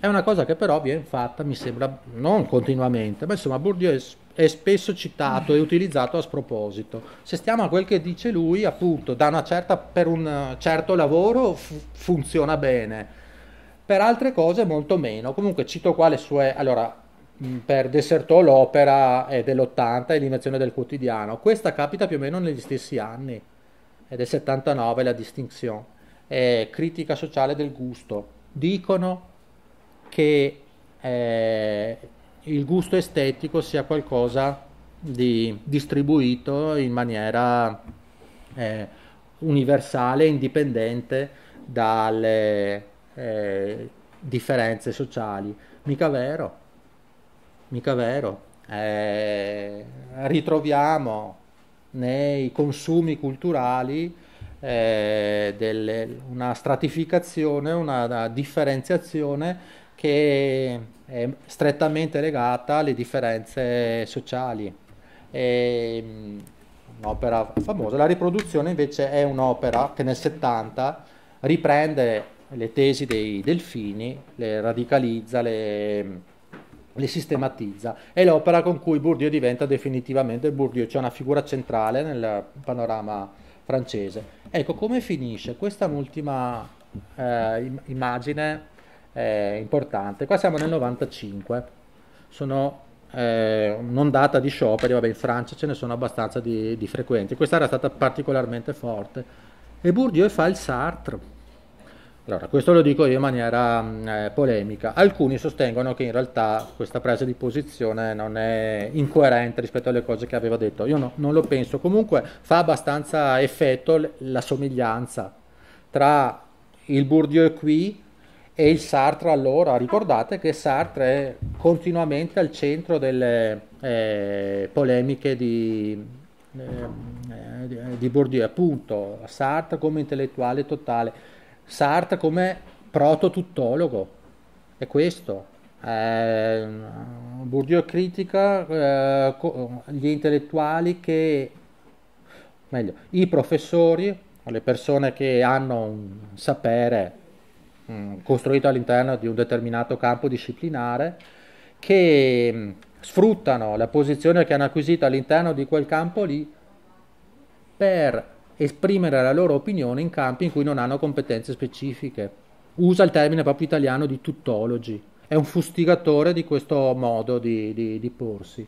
Abbastanza sorprendentemente la parabola sua, perché muore pochi, pochi anni dopo, finisce con una, uno spostamento, diciamo, eh, abbastanza sì, sorprendente eh, verso i movimenti sociali del, eh, del, tempo. E questo è eh, Bourdieu. Commento finale che si potrebbe fare è, ehm, è che allora, la traiettoria intellettuale di Bourdieu è una traiettoria relativamente indipendente dal, da quello che capita nella realtà. Questa ne è la riprova. Lo vedremo tra un po' eh, Castoriadis e il gruppo chiudono Socialismo Barbarie, la rivista, nel 67. Perché, perché? Perché la pensavano come gruppo e una rivista eh, in diretta con un mo- movimento rivoluzionario che per loro, fine anni 40 e ne- negli anni 50, era reale. Si rendono conto, prendono atto del fatto che eh, questo corrispettivo reale non, non, c'è più e chiudono la rivista. Eh, eh, diciamo che questo tipo di pensiero è totalmente alieno dal tipo di lavoro intellettuale svolto da, da Bourdieu. Questo in certo modo nella ripresa. Cioè Bourdieu attraversa imperturbabile e senza esserne veramente toccato eh, diciamo, decenni piuttosto turbolenti, se ripensiamo alla, all'Algeria. Lui reagisce facendo scienza e creando diciamo, una eh, una traiettoria di progressivo raffinamento, articolazione e, e, e diciamo fino a quasi al, al, al, al barocco eh, della propria opera. Ma questo si svolge eh, diciamo indipendentemente dagli eventi contingenti. Eh, la riprova è che il contatto con la realtà dei movimenti si ha in un momento in cui eh, l'effettiva virulenza diciamo, di, questi, di questi movimenti è, è comparativamente molto, molto meno forte. Mm? Quindi una figura comunque che va, che va, conosciuta e tenuta presente perché è stato un modo di influire sul, sul 68 mh, mm, senza volerlo da un certo punto di vista ed è, ed, è, ed è, comunque una figura che eh, è stata molto è stata spesso considerata come una specie di artefice del, del, del 68 stesso. Ecco, se si va a vedere il, la realtà del profilo intellettuale di Bourdieu, eh, ci sono degli elementi che mh, vanno tenuti presenti che sono abbastanza sorprendenti rispetto a questa immagine. Quindi, sbozzato la seconda figura, passiamo all'ultimo dei nostri protagonisti, che è Castoriadis. Allora, l'avrete capito, in parte l'avevo detto. Allora, siamo partiti da Dessertot. Bourdieu, da un certo punto di vista, è l'opposto eh, rispetto a Dessertot, cioè l'atteggiamento che Bourdieu ha o non ha rispetto al 68 è l'inverso rispetto a quello tenuto da Dessertot. Quando Dessertot dice che ehm, dobbiamo eh, cercare di evitare che i nostri saperi disciplinari inghiottano l'evento, cioè lo riducano a una variante prevista dai nostri schemi, beh è esattamente quello che Bourdieu fa. Eh, Bourdieu rimarrà per Dessertot una specie di alter ego, chiaramente una vetta. Bourdieu è veramente mm, una, un autore di grande raffinatezza, non ultimo dal punto di vista retorico. Eh, sono dei libri scritti in una maniera che, che colpisce. Eh, il libro del, del, di Desertò dell'80, L'invenzione del quotidiano, ha anche lì come eh, controparte esplicita Bourdieu. Perché? Perché anche Bourdieu è uno che che ha lavorato sulle, sulle pratiche, eh, perché anche Bourdieu ha elaborato la nozione chiave di habitus, adesso un attimo gliela dedico, ah, dedico a questa nozione, che è una nozione che cerca di superare la, l'approccio teoreticista all'azione. Cioè noi quando cerchiamo di spiegare l'azione delle, delle, persone tendiamo, dice Bourdieu, ma lo dice anche Dessertot, a, a ricondurla a motivazioni eh, e a logiche esplicite e note e chiare agli stessi attori, ma non è così, l'azione degli uomini non, non, non funziona così. Se noi vogliamo spiegare, questa è una delle cose che fa Bourdieu, se noi vogliamo spiegare eh, perché un dato scrittore a un certo punto fa quel determinato libro, eh, non possiamo star lì a pensare che l'autore se si prende studio, eh, uno studio sulla, sulle tendenze editoriali del momento, fa una serie di ipotesi, cosa mi conviene scrivere? Mi conviene scrivere in questo momento qua un libro giallo ambientato nel litorale romano o mi conviene più scrivere una, una storia più noir eh, ambientata nel XVII secolo? Non fa uno, uno studio... Eh, diciamo, da casa, da casa editrice, non si muove così. Cioè un autore, eh, la logica interna dello sviluppo di, una, di, di, di un'opera è, è retta da quello che Bourdieu chiama fiuto. Cioè tu per essere in quel campo lì, nel campo della produzione letteraria o anche nel campo della, della sociologia, a un certo punto la mossa successiva del, per, per far andare avanti la, la tua carriera. Eh, devi saper, devi saper, in, mh, mm, devi saperla usare, devi sapere già qual è, senza fare questo tipo di, di, eh, di, ragionamenti. Se li fai vuol dire che non hai acquisito l'habitus, cioè quello che eh, eh, permette a un, un, attore di muoversi all'interno del, del suo campo, cioè devi, devi, imparare a vivere all'interno di quel mondo lì e questo lo fai come? Eh, lo fai se la tua famiglia ti ha insegnato come si sta, come si vive in quel mondo lì, se hai trovato le persone giuste che, hanno, che ti hanno introdotto e ti hanno fatto capire quello che si fa e quello che non si fa, che a un certo punto non ci pensi più, ti viene naturalmente. Quindi nella ricostruzione delle, delle opere, nella ricostruzione delle scelte matrimoniali, per esempio, eh, non è semplicemente teoria dei giochi, non sono calcoli, sono cose che uno introietta e sa fare, sa fare, ma non c'è mica un codice, un, non c'è mica un software che viene inserito all'interno della testa del, del soggetto.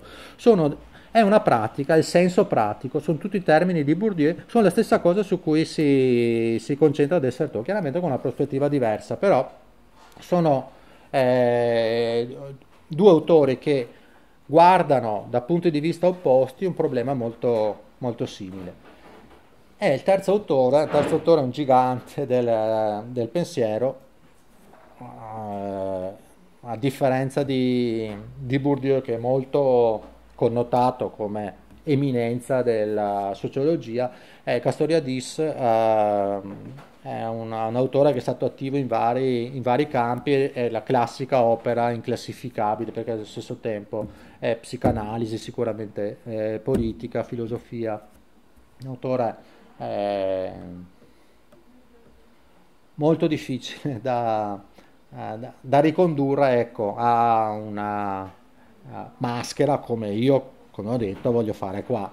Comunque mi ci proverò ho già detto prima, Socialismo Barbarie, allora Socialismo Barbarie è il gruppo cofondato da Castoriadis, è un gruppo di esuli dal troschismo, è fondato alla fine degli anni 40, dura appunto fino a metà del, degli anni 60, è mm, una rivista che sarà considerata da Cohn-Bendit, che è un po' la figura più rappresentativa del 68 francese come un'opera eh, assolutamente centrale, dice che l'opera che più l'ha eh, ispirato, eh, qui vi indico il titolo di, una, di uno dei numeri della rivista, Proletariato francese, nazionalismo algerino, sì, questo tema, la guerra d'Algeria è centrale in, uh, molti numeri della, eh, della rivista. Eh, allora, le Castoriadis in pillole, sì, dirò quattro cose. Eh, allora, la prima è che eh, diciamo che la nozione centrale elaborata da Castoriadis, ma con il gruppo di Socialismo Barbari, quello appunto di società burocratica.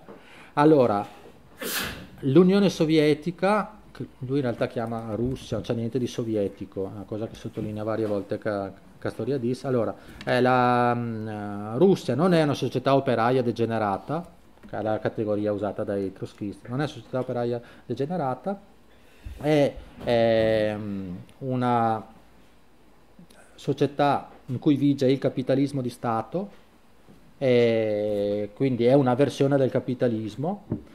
Di più, eh, l'elemento che unifica il capitalismo occidentale e il capitalismo di Stato russo è ehm, il ruolo svolto da una nuova classe che è eh, classe dei burocrati. Quindi la società eh, burocratica è l'elemento comune a sistema russo e sistema del eh, capitalismo occidentale, con una variante che fa della Russia una sorta di specchio che ci permette di guardare il nostro futuro. L'effetto era un po' questo. Eh, la società russa è una società burocratica centralizzata attorno allo Stato la, il capitalismo che noi viviamo è una società a burocrazia frammentata, quindi in qualche modo non è l'America tradiz- come è stato tradizionalmente il nostro futuro. Il futuro è, è, è quel modello lì centralizzato con, tende- con uh, tendenza alla unificazione dei vari eh, eh, fenomeni di microburocratizzazione. Quindi questo è l'elemento fondamentale che ha un corollario quasi immediato, cioè la società burocratica, l'opposizione fondamentale non è borghesia proletariato, è dirigenti esecutori. Dirigenti esecutori è... Nel 68 la rivista è già chiusa, stata chiusa in realtà con un ultimo documento breve e amaro nel, nel, nel 67. E nel 68 eh, molte cose che lo stesso Castoriadis aveva, eh, aveva detto si ripresentano nella, nella realtà. Infatti la, la reazione di Castoriadis qui opposta rispetto a quella di, di Bourdieu, è in realtà molto simile a quella di, di Dessertot, è molto partecipe. Da Castoriadis le cose che scrive in questo libro, che è maggio 1968, La breccia, che è una formula di Cohn-Bendit, eh, la, la, breccia, fare una breccia. Eh, sono tre autori, appunto Morin Lefort che con Castoriadis eh, aveva preso parte um, Socialismo Barbarie e poi Coudray che è Castoriadis, è uno pseudonimo. Beh, in, uh, in questo testo eh, Castoriadis dice, beh, dice varie cose, io mm, ne metto in fila quattro. Eh, quindi, uno, carattere di novità, di imprevedibilità dell'evento. Quindi viene riconosciuto con forza questo elemento, è imprevedibile e nuovo soprattutto rispetto all'impostazione marxista. Eh, secondo punto, carattere imprevedibile e nuovo ma anche di conferma eh, della diagnosi fondamentale fatta nei decenni precedenti, cioè quello contro cui si rivoltano eh, gli studenti è la società burocratica, messa in altri termini, ma è questo, sono i futuri eh, dirigenti. Hm? Eh, che però sono ancora in stato di semi-esecutori, che si rivoltano contro eh, questa mm, metamorfosi in atto eh, che li vuol fare da appunto ehm, rampolli di quella società lì a futura testa, futura testa pensante di una, di una società di quel tipo. Questa è questi due, a questi due elementi si, eh, si, collega un terzo elemento, cioè eh, il limite di, quella, di, questo movimento. Per Castoriadis il limite è evidente, quello della mancata organizzazione, cioè è, una, è un evento che è rimasto al di qua della capacità di mettere in questione di modificare le, le istituzioni reali della società.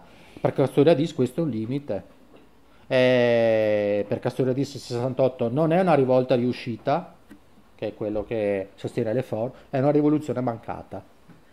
Perché questi sono gli elementi più caratterizzanti. Va uh, detta, aggiunta una cosa per chiudere, diciamo, eh, questo volo un po' incerto, ma insomma spero utile sul uh, eh, 68 francese eh, va aggiunta un'ultima uh, cosa. eh, vent'anni dopo il 68 eh, gli autori del libro eh, ritornano sull'evento, scrivono dei nuovi testi. Allora, Castoriadis lì eh, utilizza un testo che in realtà aveva già scritto per rispondere a quest'altro lavoro che va citato, questo lavoro di Ferri e Renault, eh, il pensiero 68, saggio sull'antiumanismo contemporaneo. Questo direi che è la base intellettuale del, di, di, una vasta opera mm, non unificata da un, da, da un, cervello, ma insomma una vasta opera che si è diffusa nel, soprattutto a partire dagli anni 80 di, beh, di critica radicale del 68 e della sua eredità. Questo è uno dei, dei lavori più, eh, più, articolati e più compiuti. Eh, cito solamente una, un elemento proprio per, uh, per chiudere anche il discorso che abbiamo fatto eh, Ferrier e noi individuano eh, quattro autori caratteristici del pensiero 68. Lacan, eh, Derrida, eh, Bourdieu. C'è Bourdieu, uno dei quattro è Bourdieu. Infatti è, è, è significativo che, che Castoriadis dica, sì, ma gli autori che vengono riconosciuti come gli autori caratteristici del, eh, del, del 68 sono in realtà gli, eh, gli, autori che vengono dopo il 68, cioè che vengono dopo lo scacco del 68. Nel giudizio rientra anche Bourdieu. Eh, in maniera... Ah? Eh, il quarto non, non mi ricordo. ma mi, mi verrà. Eh, prende dentro anche, eh, anche Bourdieu e Castoriadis reagisce a, questo, eh, a quest'opera soprattutto difendendo il carattere politico del 68. Cioè la, il fronte è stato quello di eh, eh, ridurre il 68 a sostanzialmente rivolta individualistico-narcisista. Erano gli anni in cui andavano anche questi, questi elementi qua, cioè come una specie di inizio del riflusso. Ah. Quindi le basi del riflusso in realtà erano già là, era già una rivolta mm. narcisista, era già una rivolta iper, eh, iperindividualista. La, la, reazione di Castoriadis è quella di, man, di mh, difendere il carattere eh, politico e anche collettivo della, della rivolta stessa. E adesso passo la parola a, a Pierpaolo, sempre lungo questa idea di eh, confrontare eh, il caso francese con eh, il caso italiano. Vi ho cercato di sottolineare alcuni aspetti che caratterizzano fortemente il 68 francese. Questo libro qua, per esempio, di Ferrier Renault, è, è un libro che sarà sì, un po' citato, un po' rifatto in maniera eh, mm. più semplicistica, insomma, di qua. Cioè, eh, questo tipo di, di, di, operazione è un po' l'epitome di un atteggiamento che avrà larga diffusione eh, anche in Italia, forse ancora di più in Italia rispetto, eh, rispetto alla Francia. Questo è un, un lato di, di, continuità. Ci sono però tra, i due casi, quello francese e italiano, dei, dei forti elementi di discontinuità e alcuni li metterà in luce adesso Pierpaolo. Non so, eh, per me va bene, andiamo avanti? In, sì? Senza... Andiamo avanti. No, in realtà probabilmente io non risponderò alle cose che ha sottolineato che sono importanti eh, René in questa ricostruzione. Volevo solo mm, darvi qualche elemento di ehm, ulteriore conoscenza, sia pure molto parziale, del terzo e per molti versi più misterioso di questi tre autori, perché Dessertò, vabbè, avete capito, in realtà poi lui è un gesuita, studia molto la mistica, cioè è un autore importante in campo di studi e poi con queste analisi estremamente efficaci sul, sul 68. Bourdieu è un tipo, no, no, era, perché qui tutto passa velocemente, centrale nella sociologia, super accademico, eccetera, eccetera. E Castelladis è un animale veramente diverso. Cioè, come dice il cognome, lui è un greco,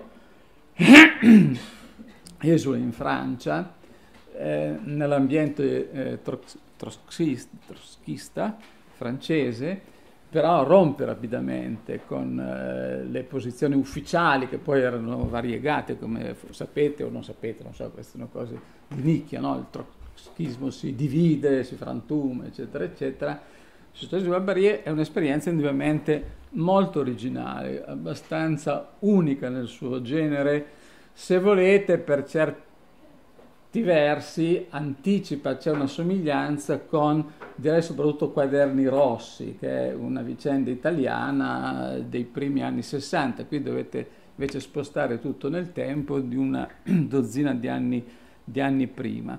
È, è, lui è una figura eh, notevole e, e però che ha avuto pochissima fortuna in Italia qualche anno fa in questa impresa che non finisce mai su questa storia del pensiero critico comunismo eretico c'è un contributo, mi pare nel secondo volume, sì. di uno studioso italiano che lavora all'università che ricostruisce un po' eh, questa vicenda di Castellodis anche in Italia, ma in realtà non è mai entrato veramente all'attenzione e per questo ci sono dei motivi importanti. Innanzitutto è un autore estremamente complesso e anche con eh, una, un respiro sui tempi lunghi. Eh, da un lato psicanalista, eh, mai, sta, mai avuto niente a che fare con l'accademia, niente a che fare con l'università, veramente, e in questo c'è anche una forma, se volete, di elitismo, ecco perché gli accademici sono, eh, sono in fondo dentro a, alla famosa gabbia d'acciaio di cui parlava Weber e di lì non hanno nessuna intenzione di uscire. Lui si considera fuori da sempre per la sua esperienza di militante, di rivoluzionario e, e poi con una certa eh, ambizione non da poco, perché da un certo momento in poi il suo autore di riferimento è Aristotele, cioè questo con cui lui dialoga e formula, non entro in particolare, un concetto di autonomia che non ha praticamente nulla a che fare con il concetto di autonomia così come è conosciuto nella storia politica della sinistra radicale italiana, ecco, non c'entra nulla. C'è un punto però eh, su, che, mh, su, cui richiama la vostra attenzione che a mio avviso eh, fa capire abbastanza con che personaggio si ha a che fare. eh, c'è un libro eh, anticipato degli articoli e poi usava un'infinità, no, ma molti veramente pseudonimi. Anche questa è una sua caratteristica che non sto a indagare, ma è come dire, a me, dire, a me interessa il pensiero, non eh, l'etichetta eh, con nomi e cognomi di chi lo elabora. Ehm, oltre che essere questo legato a sue vicende, perché insomma lui è esule, eccetera. Allora, questo libro eh, che ho avuto la fond- come lui ha tradotto eh, proprio una vera casa editrice, eh, allora, la, allora, l'abbiamo tradotto eh, e ciclostilato, no? e avevamo due versioni, una era in inglese eh, perché eh, tradotta, tradotto dal francese da un gruppo estremamente curioso che si chiama Solidarity e che era fatto sostanzialmente da quelli che sarebbero gli equivalenti in Italia dei primi eh, consigli di fabbrica. Eh, loro erano delegati di reparto, che già negli anni 50 si erano organizzati, avevano incrociato questo libro, questo saggio di, di, di Castoriadis, che è sotto pseudonimo in inglese Cardin, in francese Chaillot, eccetera. Vabbè, adesso di tutte queste vicende eh, però c'è un nucleo concettuale notevole dentro. Lui fa un'analisi di come funziona una fabbrica, però questo può essere trasportato a come funziona in fondo tanti tipi diversi di eh, sistemi organizzativi, produttivi e così via. Dentro all'analisi della fabbrica cosa tira fuori? Eh, cosa, qual è l'elemento che a lui interessa? L'elemento che lui interessa è questo a che fare con la critica, la burocratizzazione e così via. Sostanzialmente lui dice, se noi analizziamo come funziona questa fabbrica, è presente, avevano più che altro la Renault, perché avevano qualche addentellato operaio, questo gruppo di Solbabri con la Renault, come potrebbe essere in Italia la Fiat. No? allora viene fuori eh, due cose che l'apporto del, dei lavoratori a vari livelli, a partire da quelli proprio di base, no? è decisivo perché quella determinata fabbrica o entità produttiva funzioni. Se non ci fosse questo apporto anche creativo, no? che supera eh, eh, appunto, creativamente le regole in quanto tale, la fabbrica si, si bloccherebbe. Di qui viene fuori un discorso sul potere che potrebbero avere questi eh, soggetti una volta che fossero capaci di organizzarsi collettivamente. Ecco, questa è l'analisi che fanno eh, negli anni 50 e che poi tra- è uno degli assi portanti, a mio avviso, di socialismo barbarie. E c'è un apporto molto forte di Castoriadis e d'altra parte di Lefort. No? Eh, perché eh, poi Lefort avrà tutta una sua evoluzione molto più liberale, se volete. Ecco, diventa a sua volta una figura importantissima nell'Accademia Castillo mai. Rimane sempre un marginale, cioè ha questa scelta precisa e però nello stesso tempo molto influente. Perché in Italia non ha nessun successo? Allora, a mio avviso eh, le motivazioni, ammesso che abbiano qualche interesse, ma forse qualche minimo interesse ce l'hanno, eh, sono innanzitutto eh, la sua posizione che radicalizza ulteriormente la critica che è di tutto il gruppo nei confronti non solo della vicenda sovietica, cioè russa come lui dice, no? ecco, del comunismo reale, socialismo reale, ma è una critica radicale nei confronti di tutte le esperienze di quel tipo presenti nell'orizzonte contemporaneo, quindi la Cina e quindi qui, eccetera. E quindi no, non si salva niente, non salvano nulla praticamente. Questo a quel punto li marginalizza in modo fortissimo perché nello stesso tempo sviluppano un'analisi altrettanto, che vuole essere altrettanto radicale del sistema capitalistico nelle sue varianti occidentali, voi capite che l'isolamento è inevitabile e lo è soprattutto in Italia, perché in Italia una critica radicale a tutto campo delle esperienze socialiste novecentesche fate molta fatica a trovarlo, cioè, eh, anche in classe operaia, eccetera, tutto quello che volete. Quindi è, è questa collocazione politica che rende impraticabile. È un autore poi difficile, editori disposti, sì, qualche traduzione l'hanno pure fatta, ma con scarsissimo riscontro eh, non, non, c'è stato dibattito sulle, su, sulle sue tesi, appunto dibattiti, anche perché lui è fuori dall'università, quindi non, non, è un autore che può essere utile alla carriera, può essere, cioè uno che, la, che lavora su Castoriadis lo fa per suo diletto personale, non, non, è come Bourdieu che a un certo punto facoltà intere si sono organizzate per qui e quindi è una figura d'altra parte a mio avviso esemplare. Esemplare perché abbiamo a che fare con un intellettuale di altissimo livello che si pone come, eh, come dire, in relazione alla pari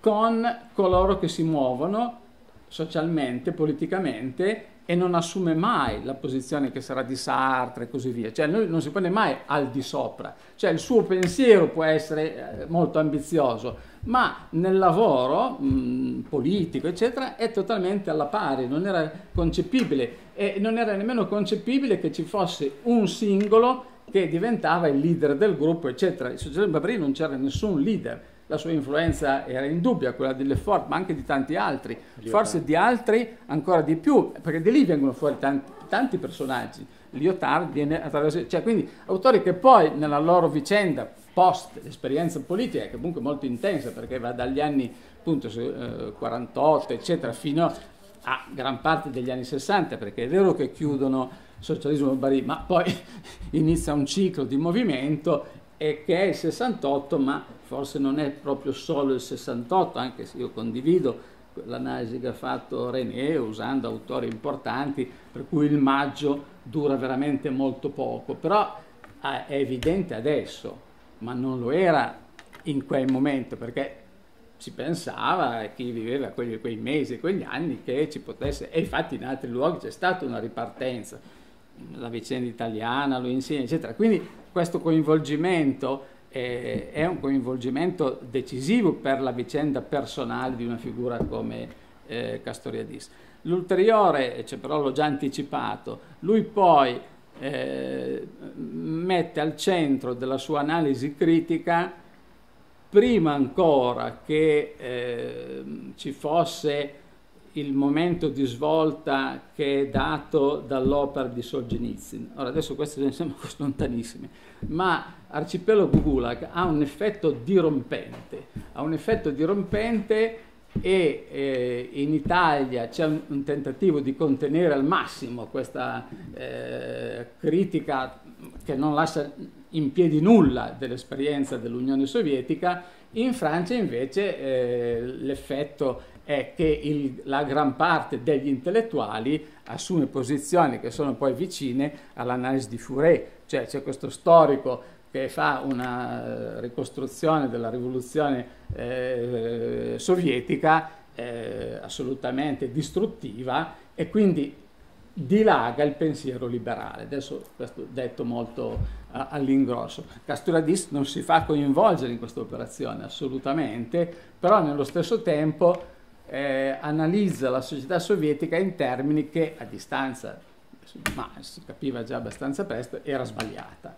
Cioè lui ha l'idea che eh, l'URSS è una struttura appunto eh, saldissima eh, che durerà nel tempo. Ecco, quando invece poi crolla tutto rapidamente, capite che i suoi libri, soprattutto quest'ultima fase, che eh, non è incoerente nel suo pensiero, nel suo percorso, però è un'ipotesi che si, eh, si, rivela inconsistente e questo mette in un cono d'ombra. Quindi succede qualcosa di paradossale in Italia, per cui eh, nella, non è una gerarchia, ma insomma è una, mh, mm, così, un'analisi di valore. No?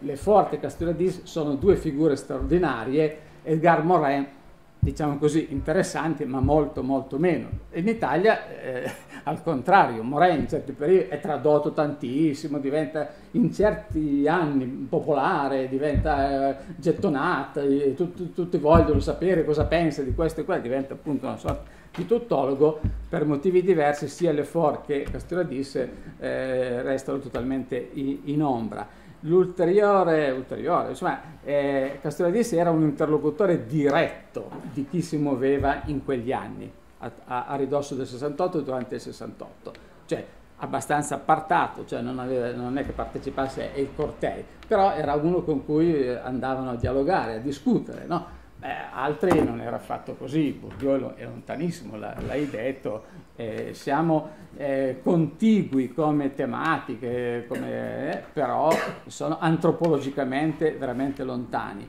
Eh, no, l'intervento non aveva nessun altro significato se non di accendere magari qualche curiosità perché il personaggio merita, anche per la sua biografia, che non è una cosa da poco, ecco, cioè è una, una biografia in certi momenti anche, non dico oscura per carità, però lui non ha mai eh, voluto che si sapesse fino in fondo come viveva, come, che mestiere faceva, faceva lo psicanalista, ecco, cioè questa era la sua eh, attività e poi c'era l'attività pubblica di militante, cioè, la differenza è che eh, lui si è sempre considerato un militante rivoluzionario, questo è sia pure lontanissimo da quello che per noi sono le correnti rivoluzionarie del eh, Novecento. non è certo così, Desertò non ci ha mai pensato, più che ovvio, pur avendo quella vicenda. Eh, Bourdieu è un'altra roba, a parte le, le, le immagini finali che vabbè, sembrano eh, significative, ma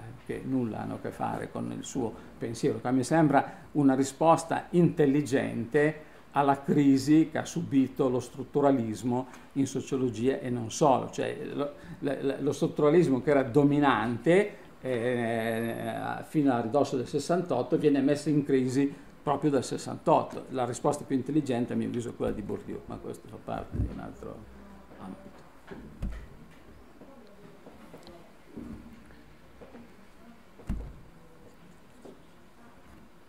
Il quarto eh, eh, non era un, auto- era un, autore secondario, Foucault.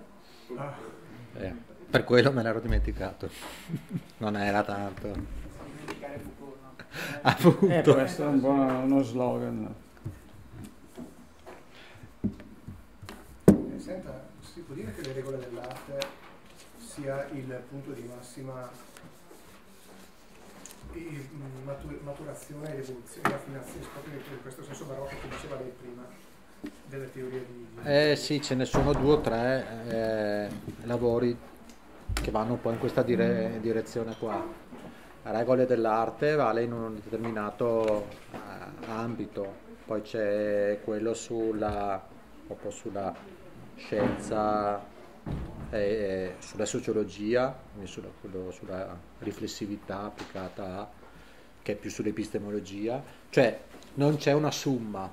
Progressivamente, diciamo, questi vari ambiti eh, assumono una sorta di eh, versione classica, cioè le analisi, diciamo, da eh, ancora beh, incerte mai, insomma, però da parziali con uh, categorie che devono ancora messe, essere messe a fuoco o devono ancora essere perfezionate, progressivamente diciamo questa macchina teorica effettivamente si, si raffina e raggiunge dei, dei ah, anche grazie alle critiche, c'è questo, cioè Bourdieu grazie al dibattito eh, accademico migliora, cioè risponde alle critiche, eh, cambia la stessa definizione di, di determinate categorie e effettivamente se si seguono i, i, singoli filoni, per esempio quello dell'ambito del sistema educativo è uno, un altro è quello, regole dell'arte, è la, l'analisi del campo letterario, un altro è proprio quello dell'analisi delle categorie epistemologiche e così via. Se si seguono questi filoni si vede pro, un progresso, cioè queste opere sono sempre più coerenti, sempre più, sempre più compatte. E diciamo che girano a vuoto.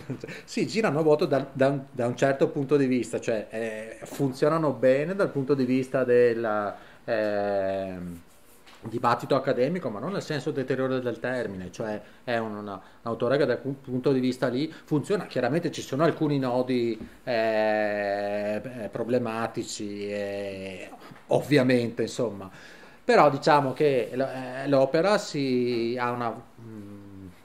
Non fa così, fa così dal punto di vista eh, teorico. Eh, progressivamente vengono aggiunte categorie, quella di campo diventa centrale a partire da fine anni 70, habitus entra all'inizio degli anni 70, cioè eh, c'è un progresso indubbio dal punto di vista della, uh, delle categorie analitiche. Eh, sì, l'elemento, il punto cieco, da un, visto per, dal punto di vista del della lezione che abbiamo fatto e anche dall'oggetto insomma del 68 è un po' semmai la eh, fertilità critica extra accademica di queste, di queste, analisi. Quello secondo me resta un punto eh, scoperto e per me quello resta abbastanza un vicolo cieco.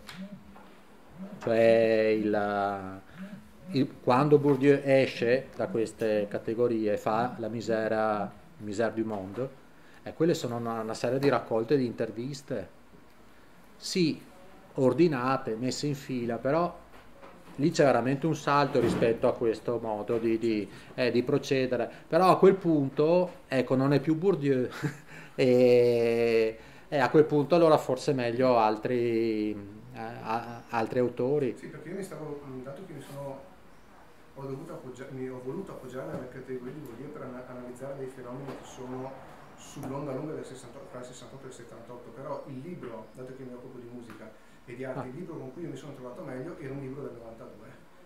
E quindi mi stavo chiedendo, ma ha senso? Qual è quello del 92? Le regole dell'arte. Ah, questo? Sì, sì. Cioè, per cui mi stavo chiedendo, com'è possibile che sia più efficace un libro che lui ha elaborato così dopo?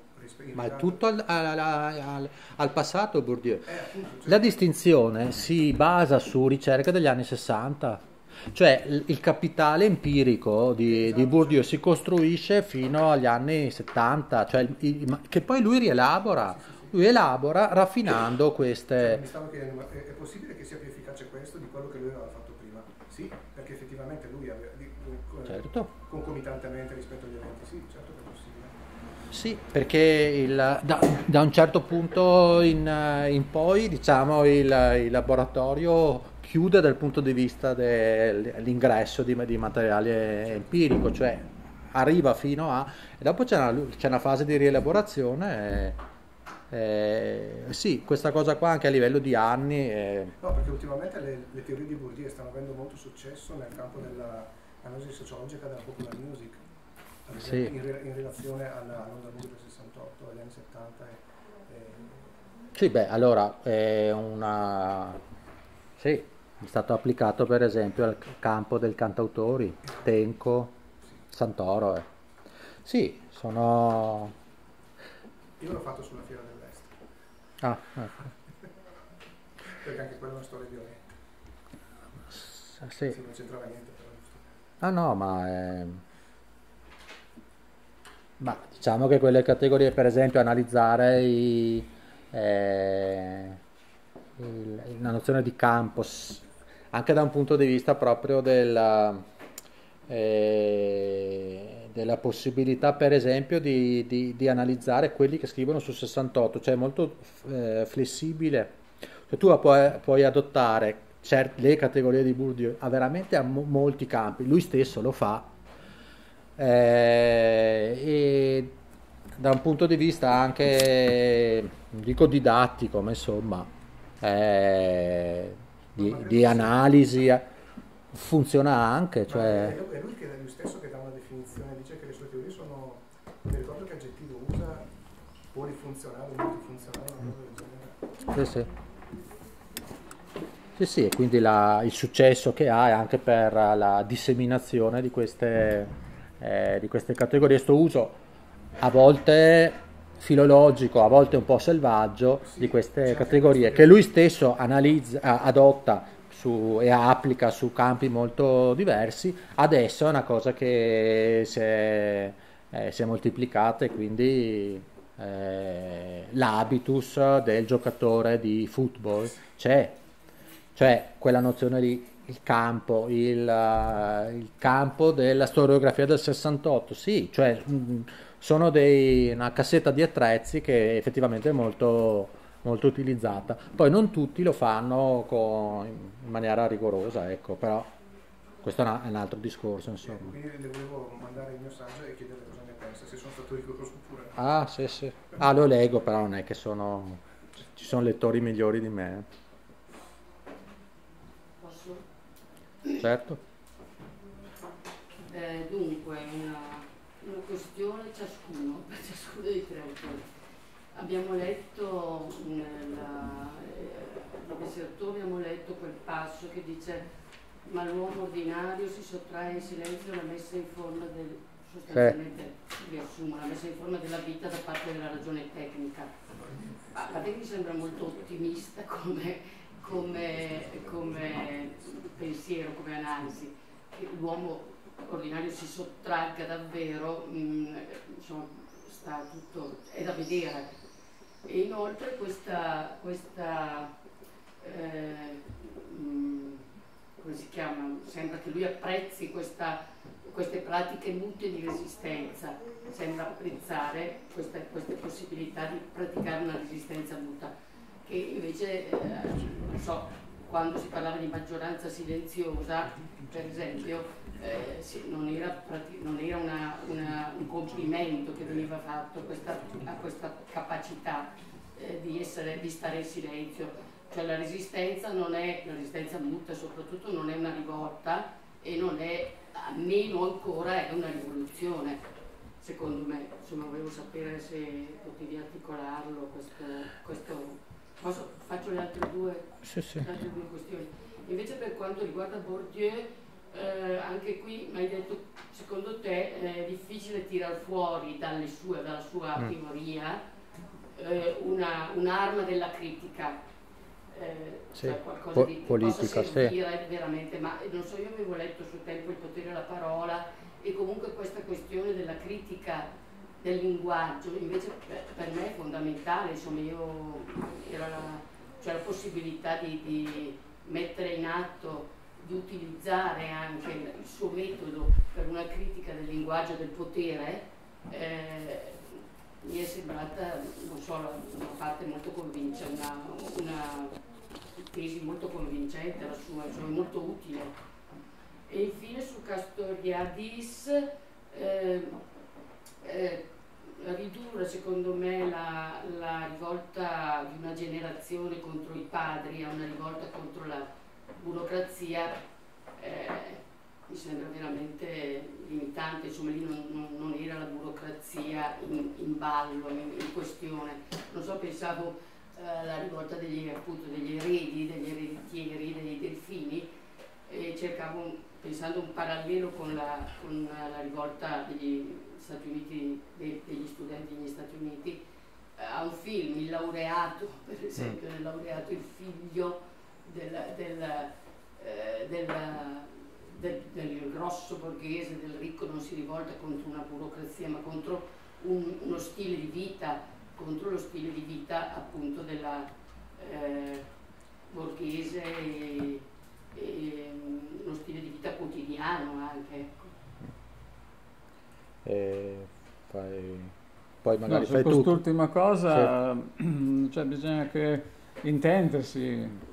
Burocrazia forse è un concetto che per noi ci porta fuori strada. Sostanzialmente è eh, l'idea che eh, la società moderna si, si regge su una, noi possiamo chiamarla tecnostruttura, che poi si interfaccia con la burocrazia, cioè le due cose sono indistinguibili, cioè stanno assieme. Allora eh, chi si rivolta deve eh, fare i conti con questa infrastruttura eh, che apparentemente è inscalfibile, perché ogni volta che la si contesta la si riaggiusta. Cioè, quindi è un concetto che a mio avviso approfonde radici in, in Weber e, e, e, lui tende a calarlo nella realtà dei, va, dei vari tipi di società industrializzate al di là del colore politico. È più accentuato l'aspetto oppressivo in forme meno raffinate, come potrebbero essere quelle dell'Unione Sovietica, lo è meno, ma è più efficace nelle forme occidentali. Però c'è un'omologia, questo è un po' di, e, e d'altra parte però l'altra faccia è che non sta in piedi questo sistema se non c'è l'apporto attivo e creativo di coloro che lo subiscono. Quindi è un gioco perverso.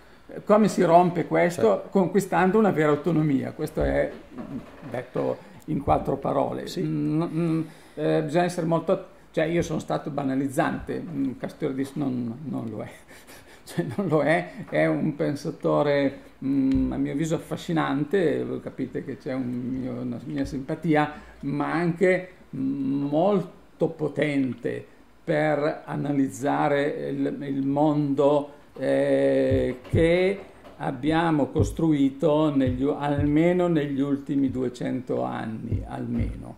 Quindi è dentro il cuore della modernità, questo è un po' il suo obiettivo e quindi nessuna eh, apertura alle letture, come dire, eh, retrograde, orientaleggiante, eccetera. L'URSS è la Russia, ma bisogna capire cos'è la Russia. La Russia non è un mondo di arretratezza, di eh, un mondo primitivo che ha una modernizzazione superficiale. La partita è molto complessa, lui viene da Trotsky, cioè, e Trotsky ha lavorato tantissimo su... Ecco, quindi eh, ecco, quindi... Mm, sì, sì, no, io mi riferivo mm. proprio rispetto all'interpretazione là mm, No, per, però no, direi che eh, basta leggere il, il, libro che non so se è ancora uh, conquistabile in italiano, l'aveva tradotto immediatamente Mondadoro, sì. che, no, Mondadori, c'è, c'è. Beh, è più ricco delle due sì. righe a cui, a cui si limita il nostro desertore. E a mio avviso dei tre contributi è comunque il più intrigante. Cioè, sono tre, no? Quelli che sì, collaborano, ora, che scrivono ora. a caldo. A me, a me, pare che sia il più, però il mio giudizio che risale a una lettura di 50 anni fa. Sì, sì, sì. Sì, diciamo che va tenuto, insomma, ri- eh, ricordato che la logica burocratica è quella che unifica fabbrica e scuola. Se tu parti da quella prospettiva lì, non ti sorprende Mm. che eh, la rivolta sia partita dalla- dalle scuole, cioè non è un ambito, eh, diciamo, subordinato e la vera rivolta non, non- non è ancora di là da venire, devono muoversi le fabbriche, no. Cioè, da quel punto di vista lì è questo elemento qua di... no? Questo distingue molto dagli ideologi del 68. Sì, questo. E poi, beh, la, la radice fondamentale anche del il, il paradosso e la contraddizione di una società così è che sì, l'esecutore deve essere un semplice esecutore, ma per essere un buon esecutore deve essere partecipe. Quindi tu allo stesso tempo dai un, ordine contraddittorio, tu devi essere semplicemente quello che esegue l'ordine, ma per essere un buon esecutore di quell'ordine lì eh, devi metterci la testa. Ah, Che è una cosa anche rispetto a molte forme del lavoro contemporaneo eh, interessante, lì viene colta in maniera eh, eh, acuta. Eh, su Bourdieu sì, lì- anche lì c'è il discorso della critica. Allora lui, la sua sociologia è sociologia critica. Diciamo che in uno slogan la critica viene eh, eh, fatta propria dalla- dal sociologo e dalla sociologia in quanto sapere specializzato nella messa in luce delle asimmetrie di, di potere reale e nello smascherare insomma l'esistenza di queste asimmetrie della violenza simbolica, la sua, la sua formula, dietro l'apparenza di società pacificata e, e egualitaria. Però la performance critica è sua, mica del movimento. Allora, se diamo al movimento il significato cui diamo, che, di cui 68 è, è un esempio, è eh, diciamo far dipendere eh, l'azione critica di movimento da quel tipo di sapere lì e dalle esigenze anche analitiche insomma di quel sapere lì è un incrocio eh, come minimo non facile. Secondo me impossibile cioè c'è proprio un, un salto tra, le, tra, tra, eh, tra i due momenti. Un salto che in quegli anni lì si è manifestato in maniera proprio fisica. Cioè erano due mondi eh, eh, separati. Alcuni sostengono che ma io, io ci- mi sembra credibile però non ho lì expertise eh, eh, di, di- di- di- prima mano.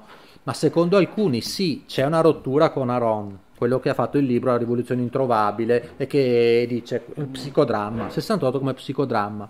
E molti dicono che in realtà la la- l'opinione di Bourdieu sul 68 anche se lui non ha mai preso eh, posizione eh, direttamente sul 68 da- è simile Mm. è molto simile. La spiegherà, spiegherà poi il 68 eh, Bourdieu mm, vari anni dopo come eh, una eh, non come una reazione da parte dei rampolli che non accettano il ruolo che avranno da grandi. Non è una rivolta dei- degli eredi, non è una rivolta dei, dei privilegiati. Mm. No, è la rivolta di chi teme di, di non avere il posto che avevano i padri. Cioè, quindi, ehm, e la, la legge proprio come eh, eh, capacità degli attori che sanno stare nel loro campo di annusare qual è la mossa futura che devono fare. Eh, capiscono che il campo sta crollando, capiscono che il posto, il posto che nei decenni eh, precedenti sarebbe stato assicurato non è più sicuro, si innervosiscono, prendono paura e scendono in strada. Adesso io la sto i- i- ipersemplificando, però insomma la direzione è un po', è, è un po' questa. Quindi sicuramente sì, eh, la- la- l'elemento critico leggendo Bourdieu c'è. Ecco, non è, e anzi, sociologia e sociologia critica dal suo punto di vista sono, eh, sono la stessa cosa. Altro, ca- altro discorso è fondare una, un movimento critico su quel tipo di, di, sapere lì. È una cosa che molti hanno cercato di fare o hanno pensato di, di poter fare. Sì, ah? Se non si può fare con quello, maggior ragione con la filosofia, perché eh, Bourdieu, infatti poi pensavo, Bourdieu eh, mh, mm, scrive questa, questo insomma, contro Sartre, contro l'intellettuale totale, ma in realtà lui ce l'ha anche con i filosofi in generale, con la filosofia e con i filosofi, tant'è che dice di aver scelto sociologia dopo aver fatto filosofia eh. alla, scuola, alla, scuola, normale, perché contro l'imperialismo della filosofia, contro, la, contro questa astratta, eh, sì, infatti c'è tutta una polemica anche con Derrida, insomma, poi ma, mh, mm, e quindi no, mi chiedevo, ma allora Marx, che ha scritto veramente quando la sociologia era ancora una, allo, stato, allo, stato, nascente, eh, che dava ai filosofi questo compito di cambiare il mondo, in realtà poi i filosofi hanno fatto poco, niente, insomma, più, diciamo che è più il pensiero eh, critico dei sociologi qui che ha eh, anche anche le figure che abbiamo visto, eh, Lefer, eh, Marcuse, eccetera, sono, eh, sono sociologi. Beh, do due cose proprio perché sono... Scusa, mi inserisco, no, perché il libro di Bourdieu, I Delfini, sì. viene tradotto da, Guaraldi. da Guaraldi, quando?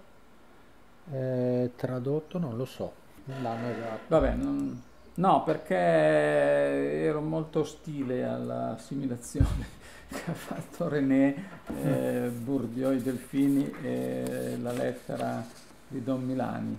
Perché al, a, a, caldo no, la, no, la ricezione di... è stata eh, opposta. Eh certo. Cioè, eh, risposta a continuazione nel senso che dove finisce mm-hmm. i delfini comincia l'azione eh, comincia il 68 diciamo e, e, e, e comincia quel tipo di mm, eh, ma sono due, due, pezzi cioè da una parte complementari certo può, può, possono essere anche visti come opposti di sicuro complementari sono due prospettive no, eh, la, la, beh, vai, vai. è cosa importante che diceva lei queste sono cose spicciole però eh, la lettura di Bourdieu e Passeron, perché erano, sì, due, sono... erano due, autori, è, è stata vista come una lettura che rendeva eh, in, ancora più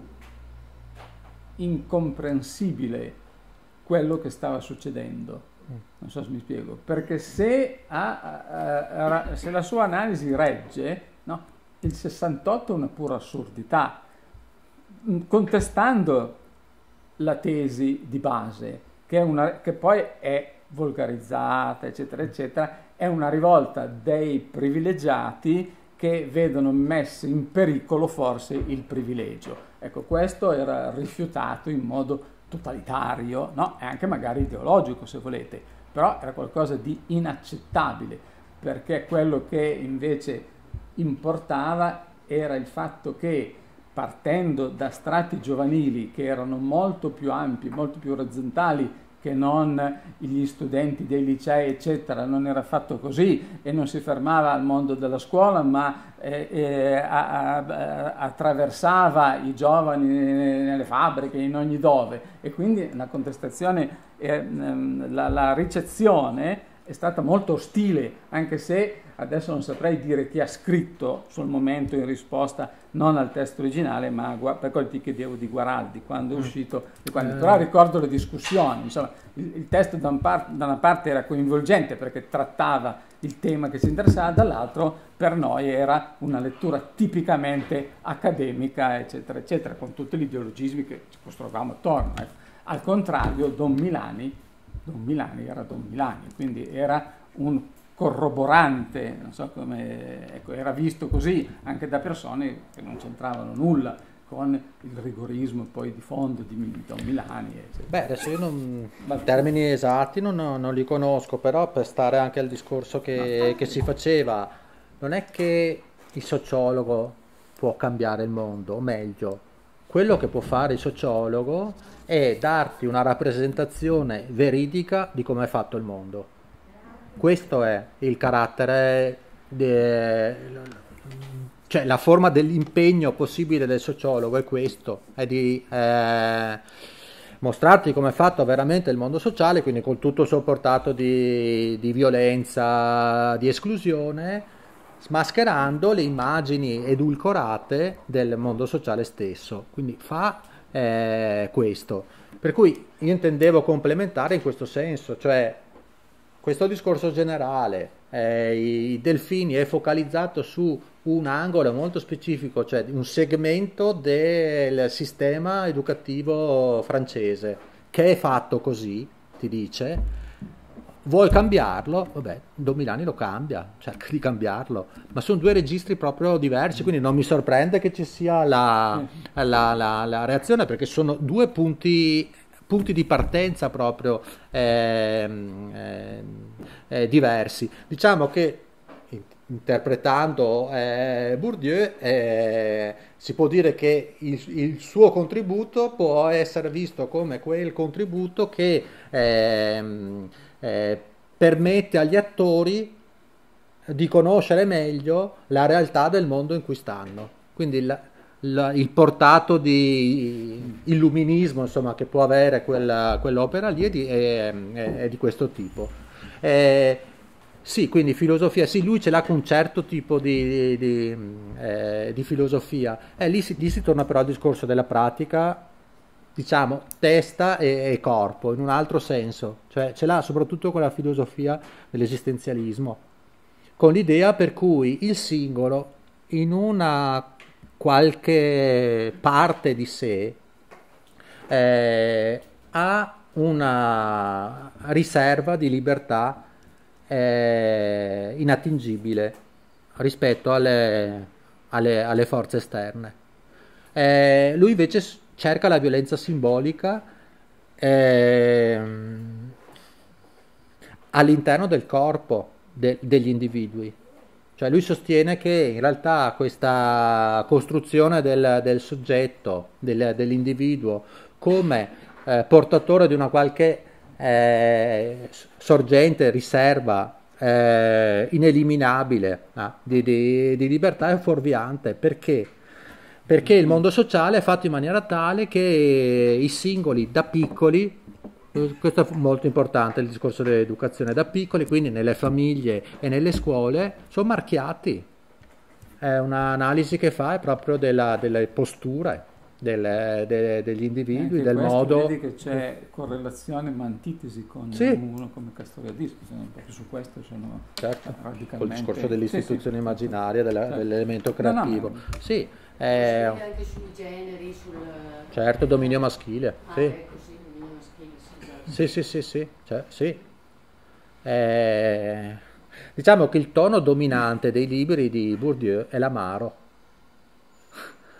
È una, è una ricostruzione molto eh, articolata, raffinata, eh, diciamo poco, poco motivante l'azione a dire poco, lascia, eh, sono delle, dei libri da un certo punto di vista denuncia anche, perché sono continui smascheramenti di eh, illusioni di libertà, di illusioni di parità. Questo del rapporto uomo-donna è tipico, ma poi se lo si vede anche in, una, in tutti i campi che vengono attraversati, l'elemento che, caratteristico, il leitmotiv, insomma, è è, è questo.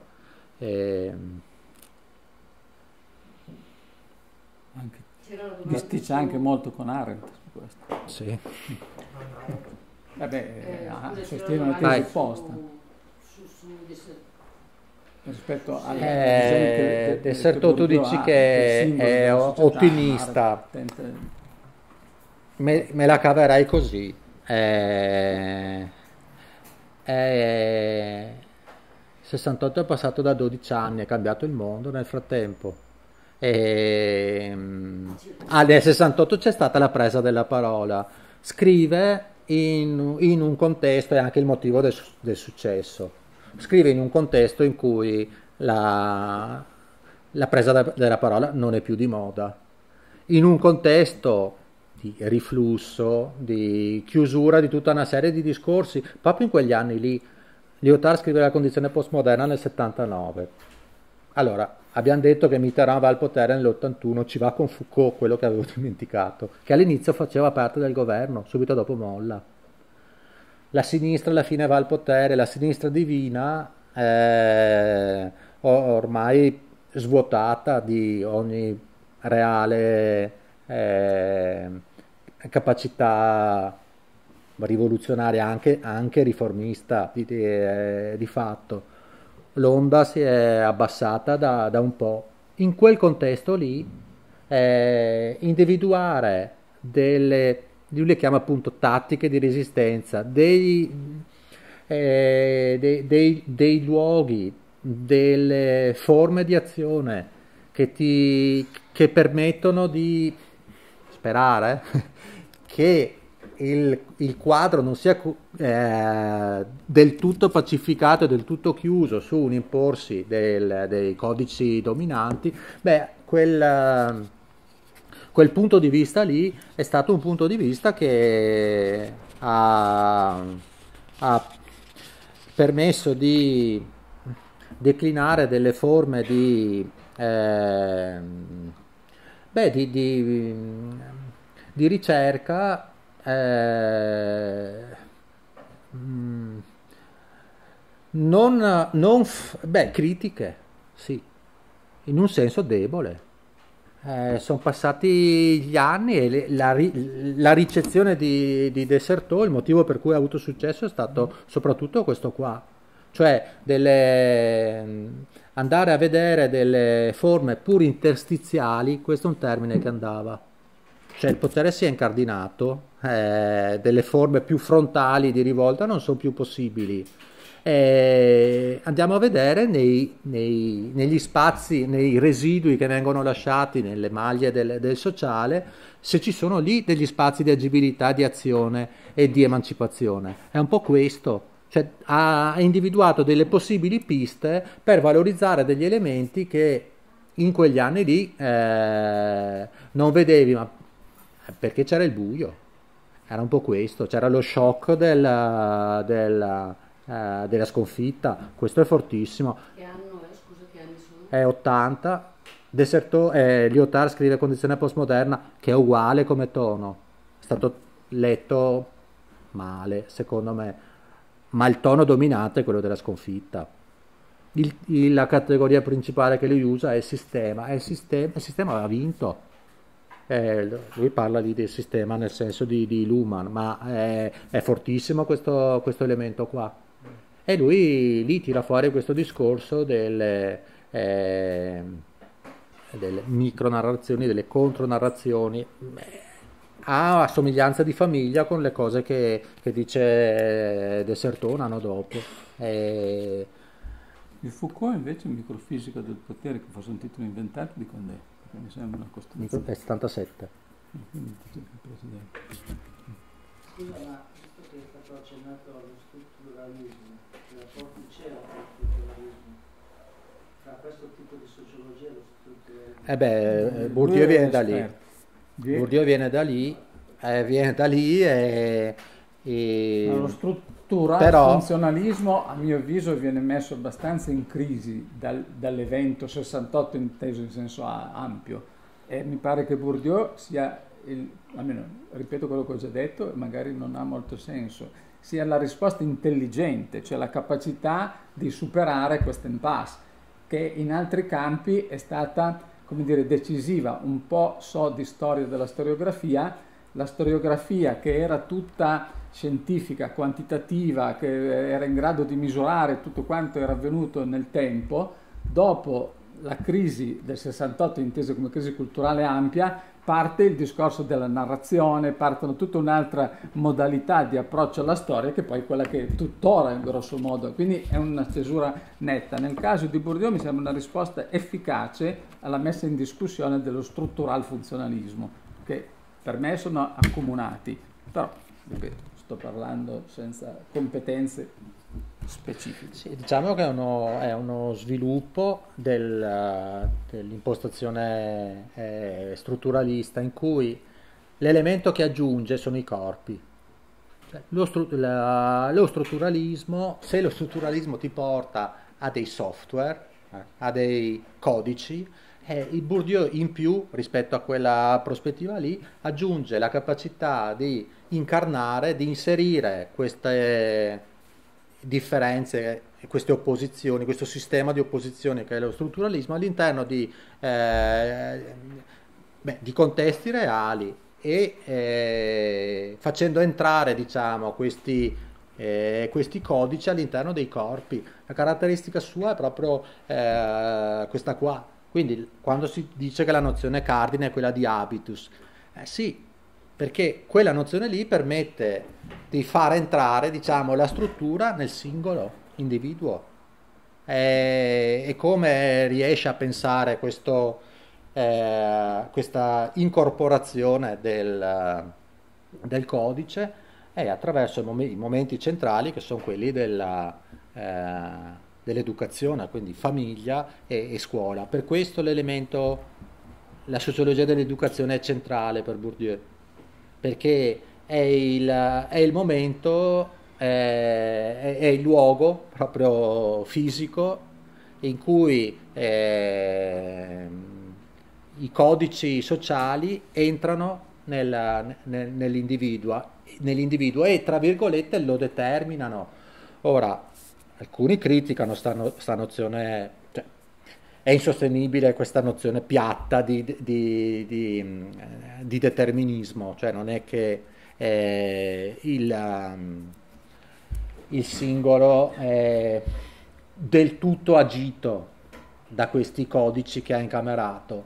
Eh, però diciamo sono la, la, la griglia che, a partire dalla quale il singolo deve eh, orientarsi nella, nella, vita e hanno un ruolo, diciamo, predominante. Però la, l'elemento fondamentale è quello, è quello lì. Eh, strutturalismo incarnato, possiamo dire? Una cosa del genere. Non arriva mai come dal punto di vista del... Eh, dal punto di osservazione all'etnografia nelle opere tarde, all'inizio sì, cioè se si va a vedere quelle opere lì in eh, il periodo algerino, c'è questo discorso di osservazione eh, etnografica molto forte, come è fatta la casa in Algeria, dove stanno gli uomini, dove stanno le donne. Questo elemento qua è, è, è fortissimo. Analisi, la crona è illeggibile o sa pure, ma, ma risolveva dei casi quotidiani, per cui lo strutturalismo è un mito una, una, una sezione della storia cosiddetta storia. Sì. Quindi può funzionare, può funzionare, però bisogna saperlo. Sì, diciamo che di sicuro da Bourdieu non c'è mai stata una biura rispetto allo strutturalismo. La nozione di campo, eh, che è la sua, è, è come mettere... Eh, come adattare la nozione estratta di, di, di struttura a determinati pezzi della società. Lo ha declinato a modo suo, arricchendolo e rendendolo, tra virgolette, più realistico, ecco. ma è una, un'eredità fortissima nel, nel, nel, caso suo, che porta poi, per stare ad, ad Essertò, alla tendenza a mangiarsi le, le, l'evento, cioè hai messo in piedi una macchina teorica talmente, eh, talmente forte che diventa una macchina celibe, cioè che non ha bisogno di essere nutrita da elementi empirici. Questa è una versione critica mia, insomma, però per, per, mostrare dove può andare, insomma, nel, va un po' in quella direzione lì.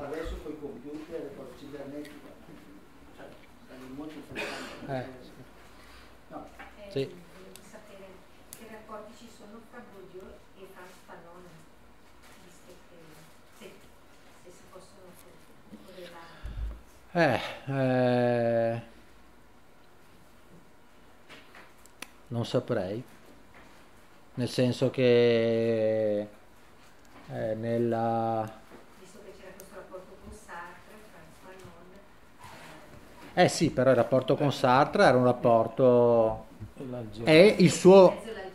È, ah sì, ma il suo obiettivo polemico, cioè, quando dicevo contro la filosofia in quanto sapere edulcorante, quanto sapere che eh, era questa idea qua, era l'esistenzialismo. Quindi ce l'ha sia dal punto di vista teorico, insomma, poi ce l'ha anche dal punto di vista intellettuale, come modalità di, di, eh, di spendersi, diciamo, nella, nella società. Bah, no, Ma secondo me direi che è di un... fondamentale, la categoria di dominio. Non mi pare che in Bourdieu questo emerga mai come asimmetria strutturale tra il dominante e il dominato, cioè temi che sono campi, eh, come dire, incomunicabili per tanti Beh, Dio, c'è il discorso della violenza simbolica che è molto forte in eh, Bourdieu. Però, allora, dal punto di vista filologico io non, non saprei eh, dirti, cioè è una cosa che andrò a cercarmi dopo.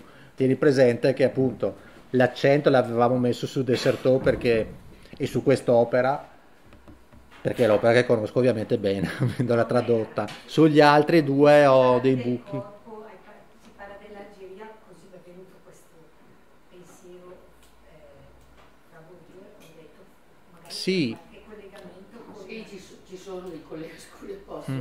Io sono andata a prendere in biblioteca il libro sull'Algeria, è uscito, hanno pubblicato eh, la, la raccolta delle fotografie bellissime peraltro che ha fatto Bourdieu in Algeria e dice, se ti leggi tutta l'introduzione sulla biblica e ci sono anche riferimenti appunto a una polemica con Fanon in realtà. Eh, Sì, eh, lo conosceva ovviamente, però non, non, eh, non condivideva questa idea che, dalla- che- che dai, da- dai contadini potesse, eh, che fossero un soggetto rivoluzionario. eh certo.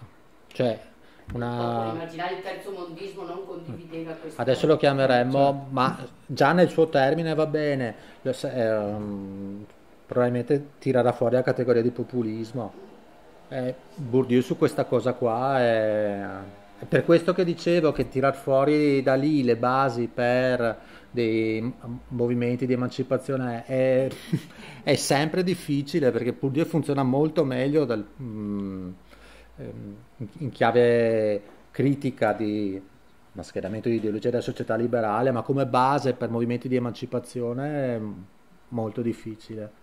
E, beh, anche la polemica con, c'è con eh, socialismo barbari, cioè sull'Algeria aveva delle, cioè vedeva del tutto irrealistica una, una- un, un movimento rivoluzionario nel, nel senso immaginato in, in alcuni saggi di, di socialismo barbari. Quindi lo- eh, sì, quindi non mi sorprende, però devo essere sincero, non conoscevo nel dettaglio. Ma tra lui non ha un riferimento in Weber, Com'è? Max Weber. Eh sì, cioè i grandi della sociologia, c'è Durkheim molto presente, Weber, sì. Mi ha impressionato la, la cosa che ha detto Poggio sulla, sulla tecnostruttura che si adatta. Eh, sì, la- eh, diciamo che la versione aggiornata della gabbia d'acciaio, appunto, di Sì, Weber, sì. aggiornata nel senso che questa si adatta proprio all'idea della tecnostruttura. E, e chi era che diceva, adesso di questi qui che abbiamo appena, visto, che addirittura le rivolte, eh, le insurrezioni aiutano, Certo. aiutano il capitalismo ad, ad aggiustarsi. Eh, chi era che lo diceva? Non lo so, penso più di uno. Tutto il pensiero tradizionalista reazionario è basato su questa tesi, che secondo me non va eh, né sottovalutato né demonizzato. Non so, adesso entriamo in, altri, Sì. altri mondi ancora, no? Eh, per cui c'è una eh, coessenzialità eh, tra eh, queste forme di rivolte e di rivoluzione che vogliono accentuare la modernizzazione e la tecnocostruttura che non aspetta altro che di essere eh, rinnovata grazie a questa creatività. Però se qui siamo veramente nella negatività totale, non è il caso di chiudere. Eh, più, più di modo più leggero. no, dando appuntamento. Dando appuntamento, ah ecco, con un autore corroborante secondo me, che è una delle poche figure del 68 che ha partecipato, che ha vissuto il 68, che vale la pena tornare a conoscere, Alex Langer, l'11 giugno, lunedì 11 Con registrato. relatore? E di Rabini che è stato un suo mm, amico e Federico Falloppa che invece è uno studioso, sta in Inghilterra, vediamo se- sta studiando proprio Langer, sta facendo come fanno molti giovani, quindi mm, sono saranno complementari. Bene, grazie. Finito? Grazie a voi. Grazie.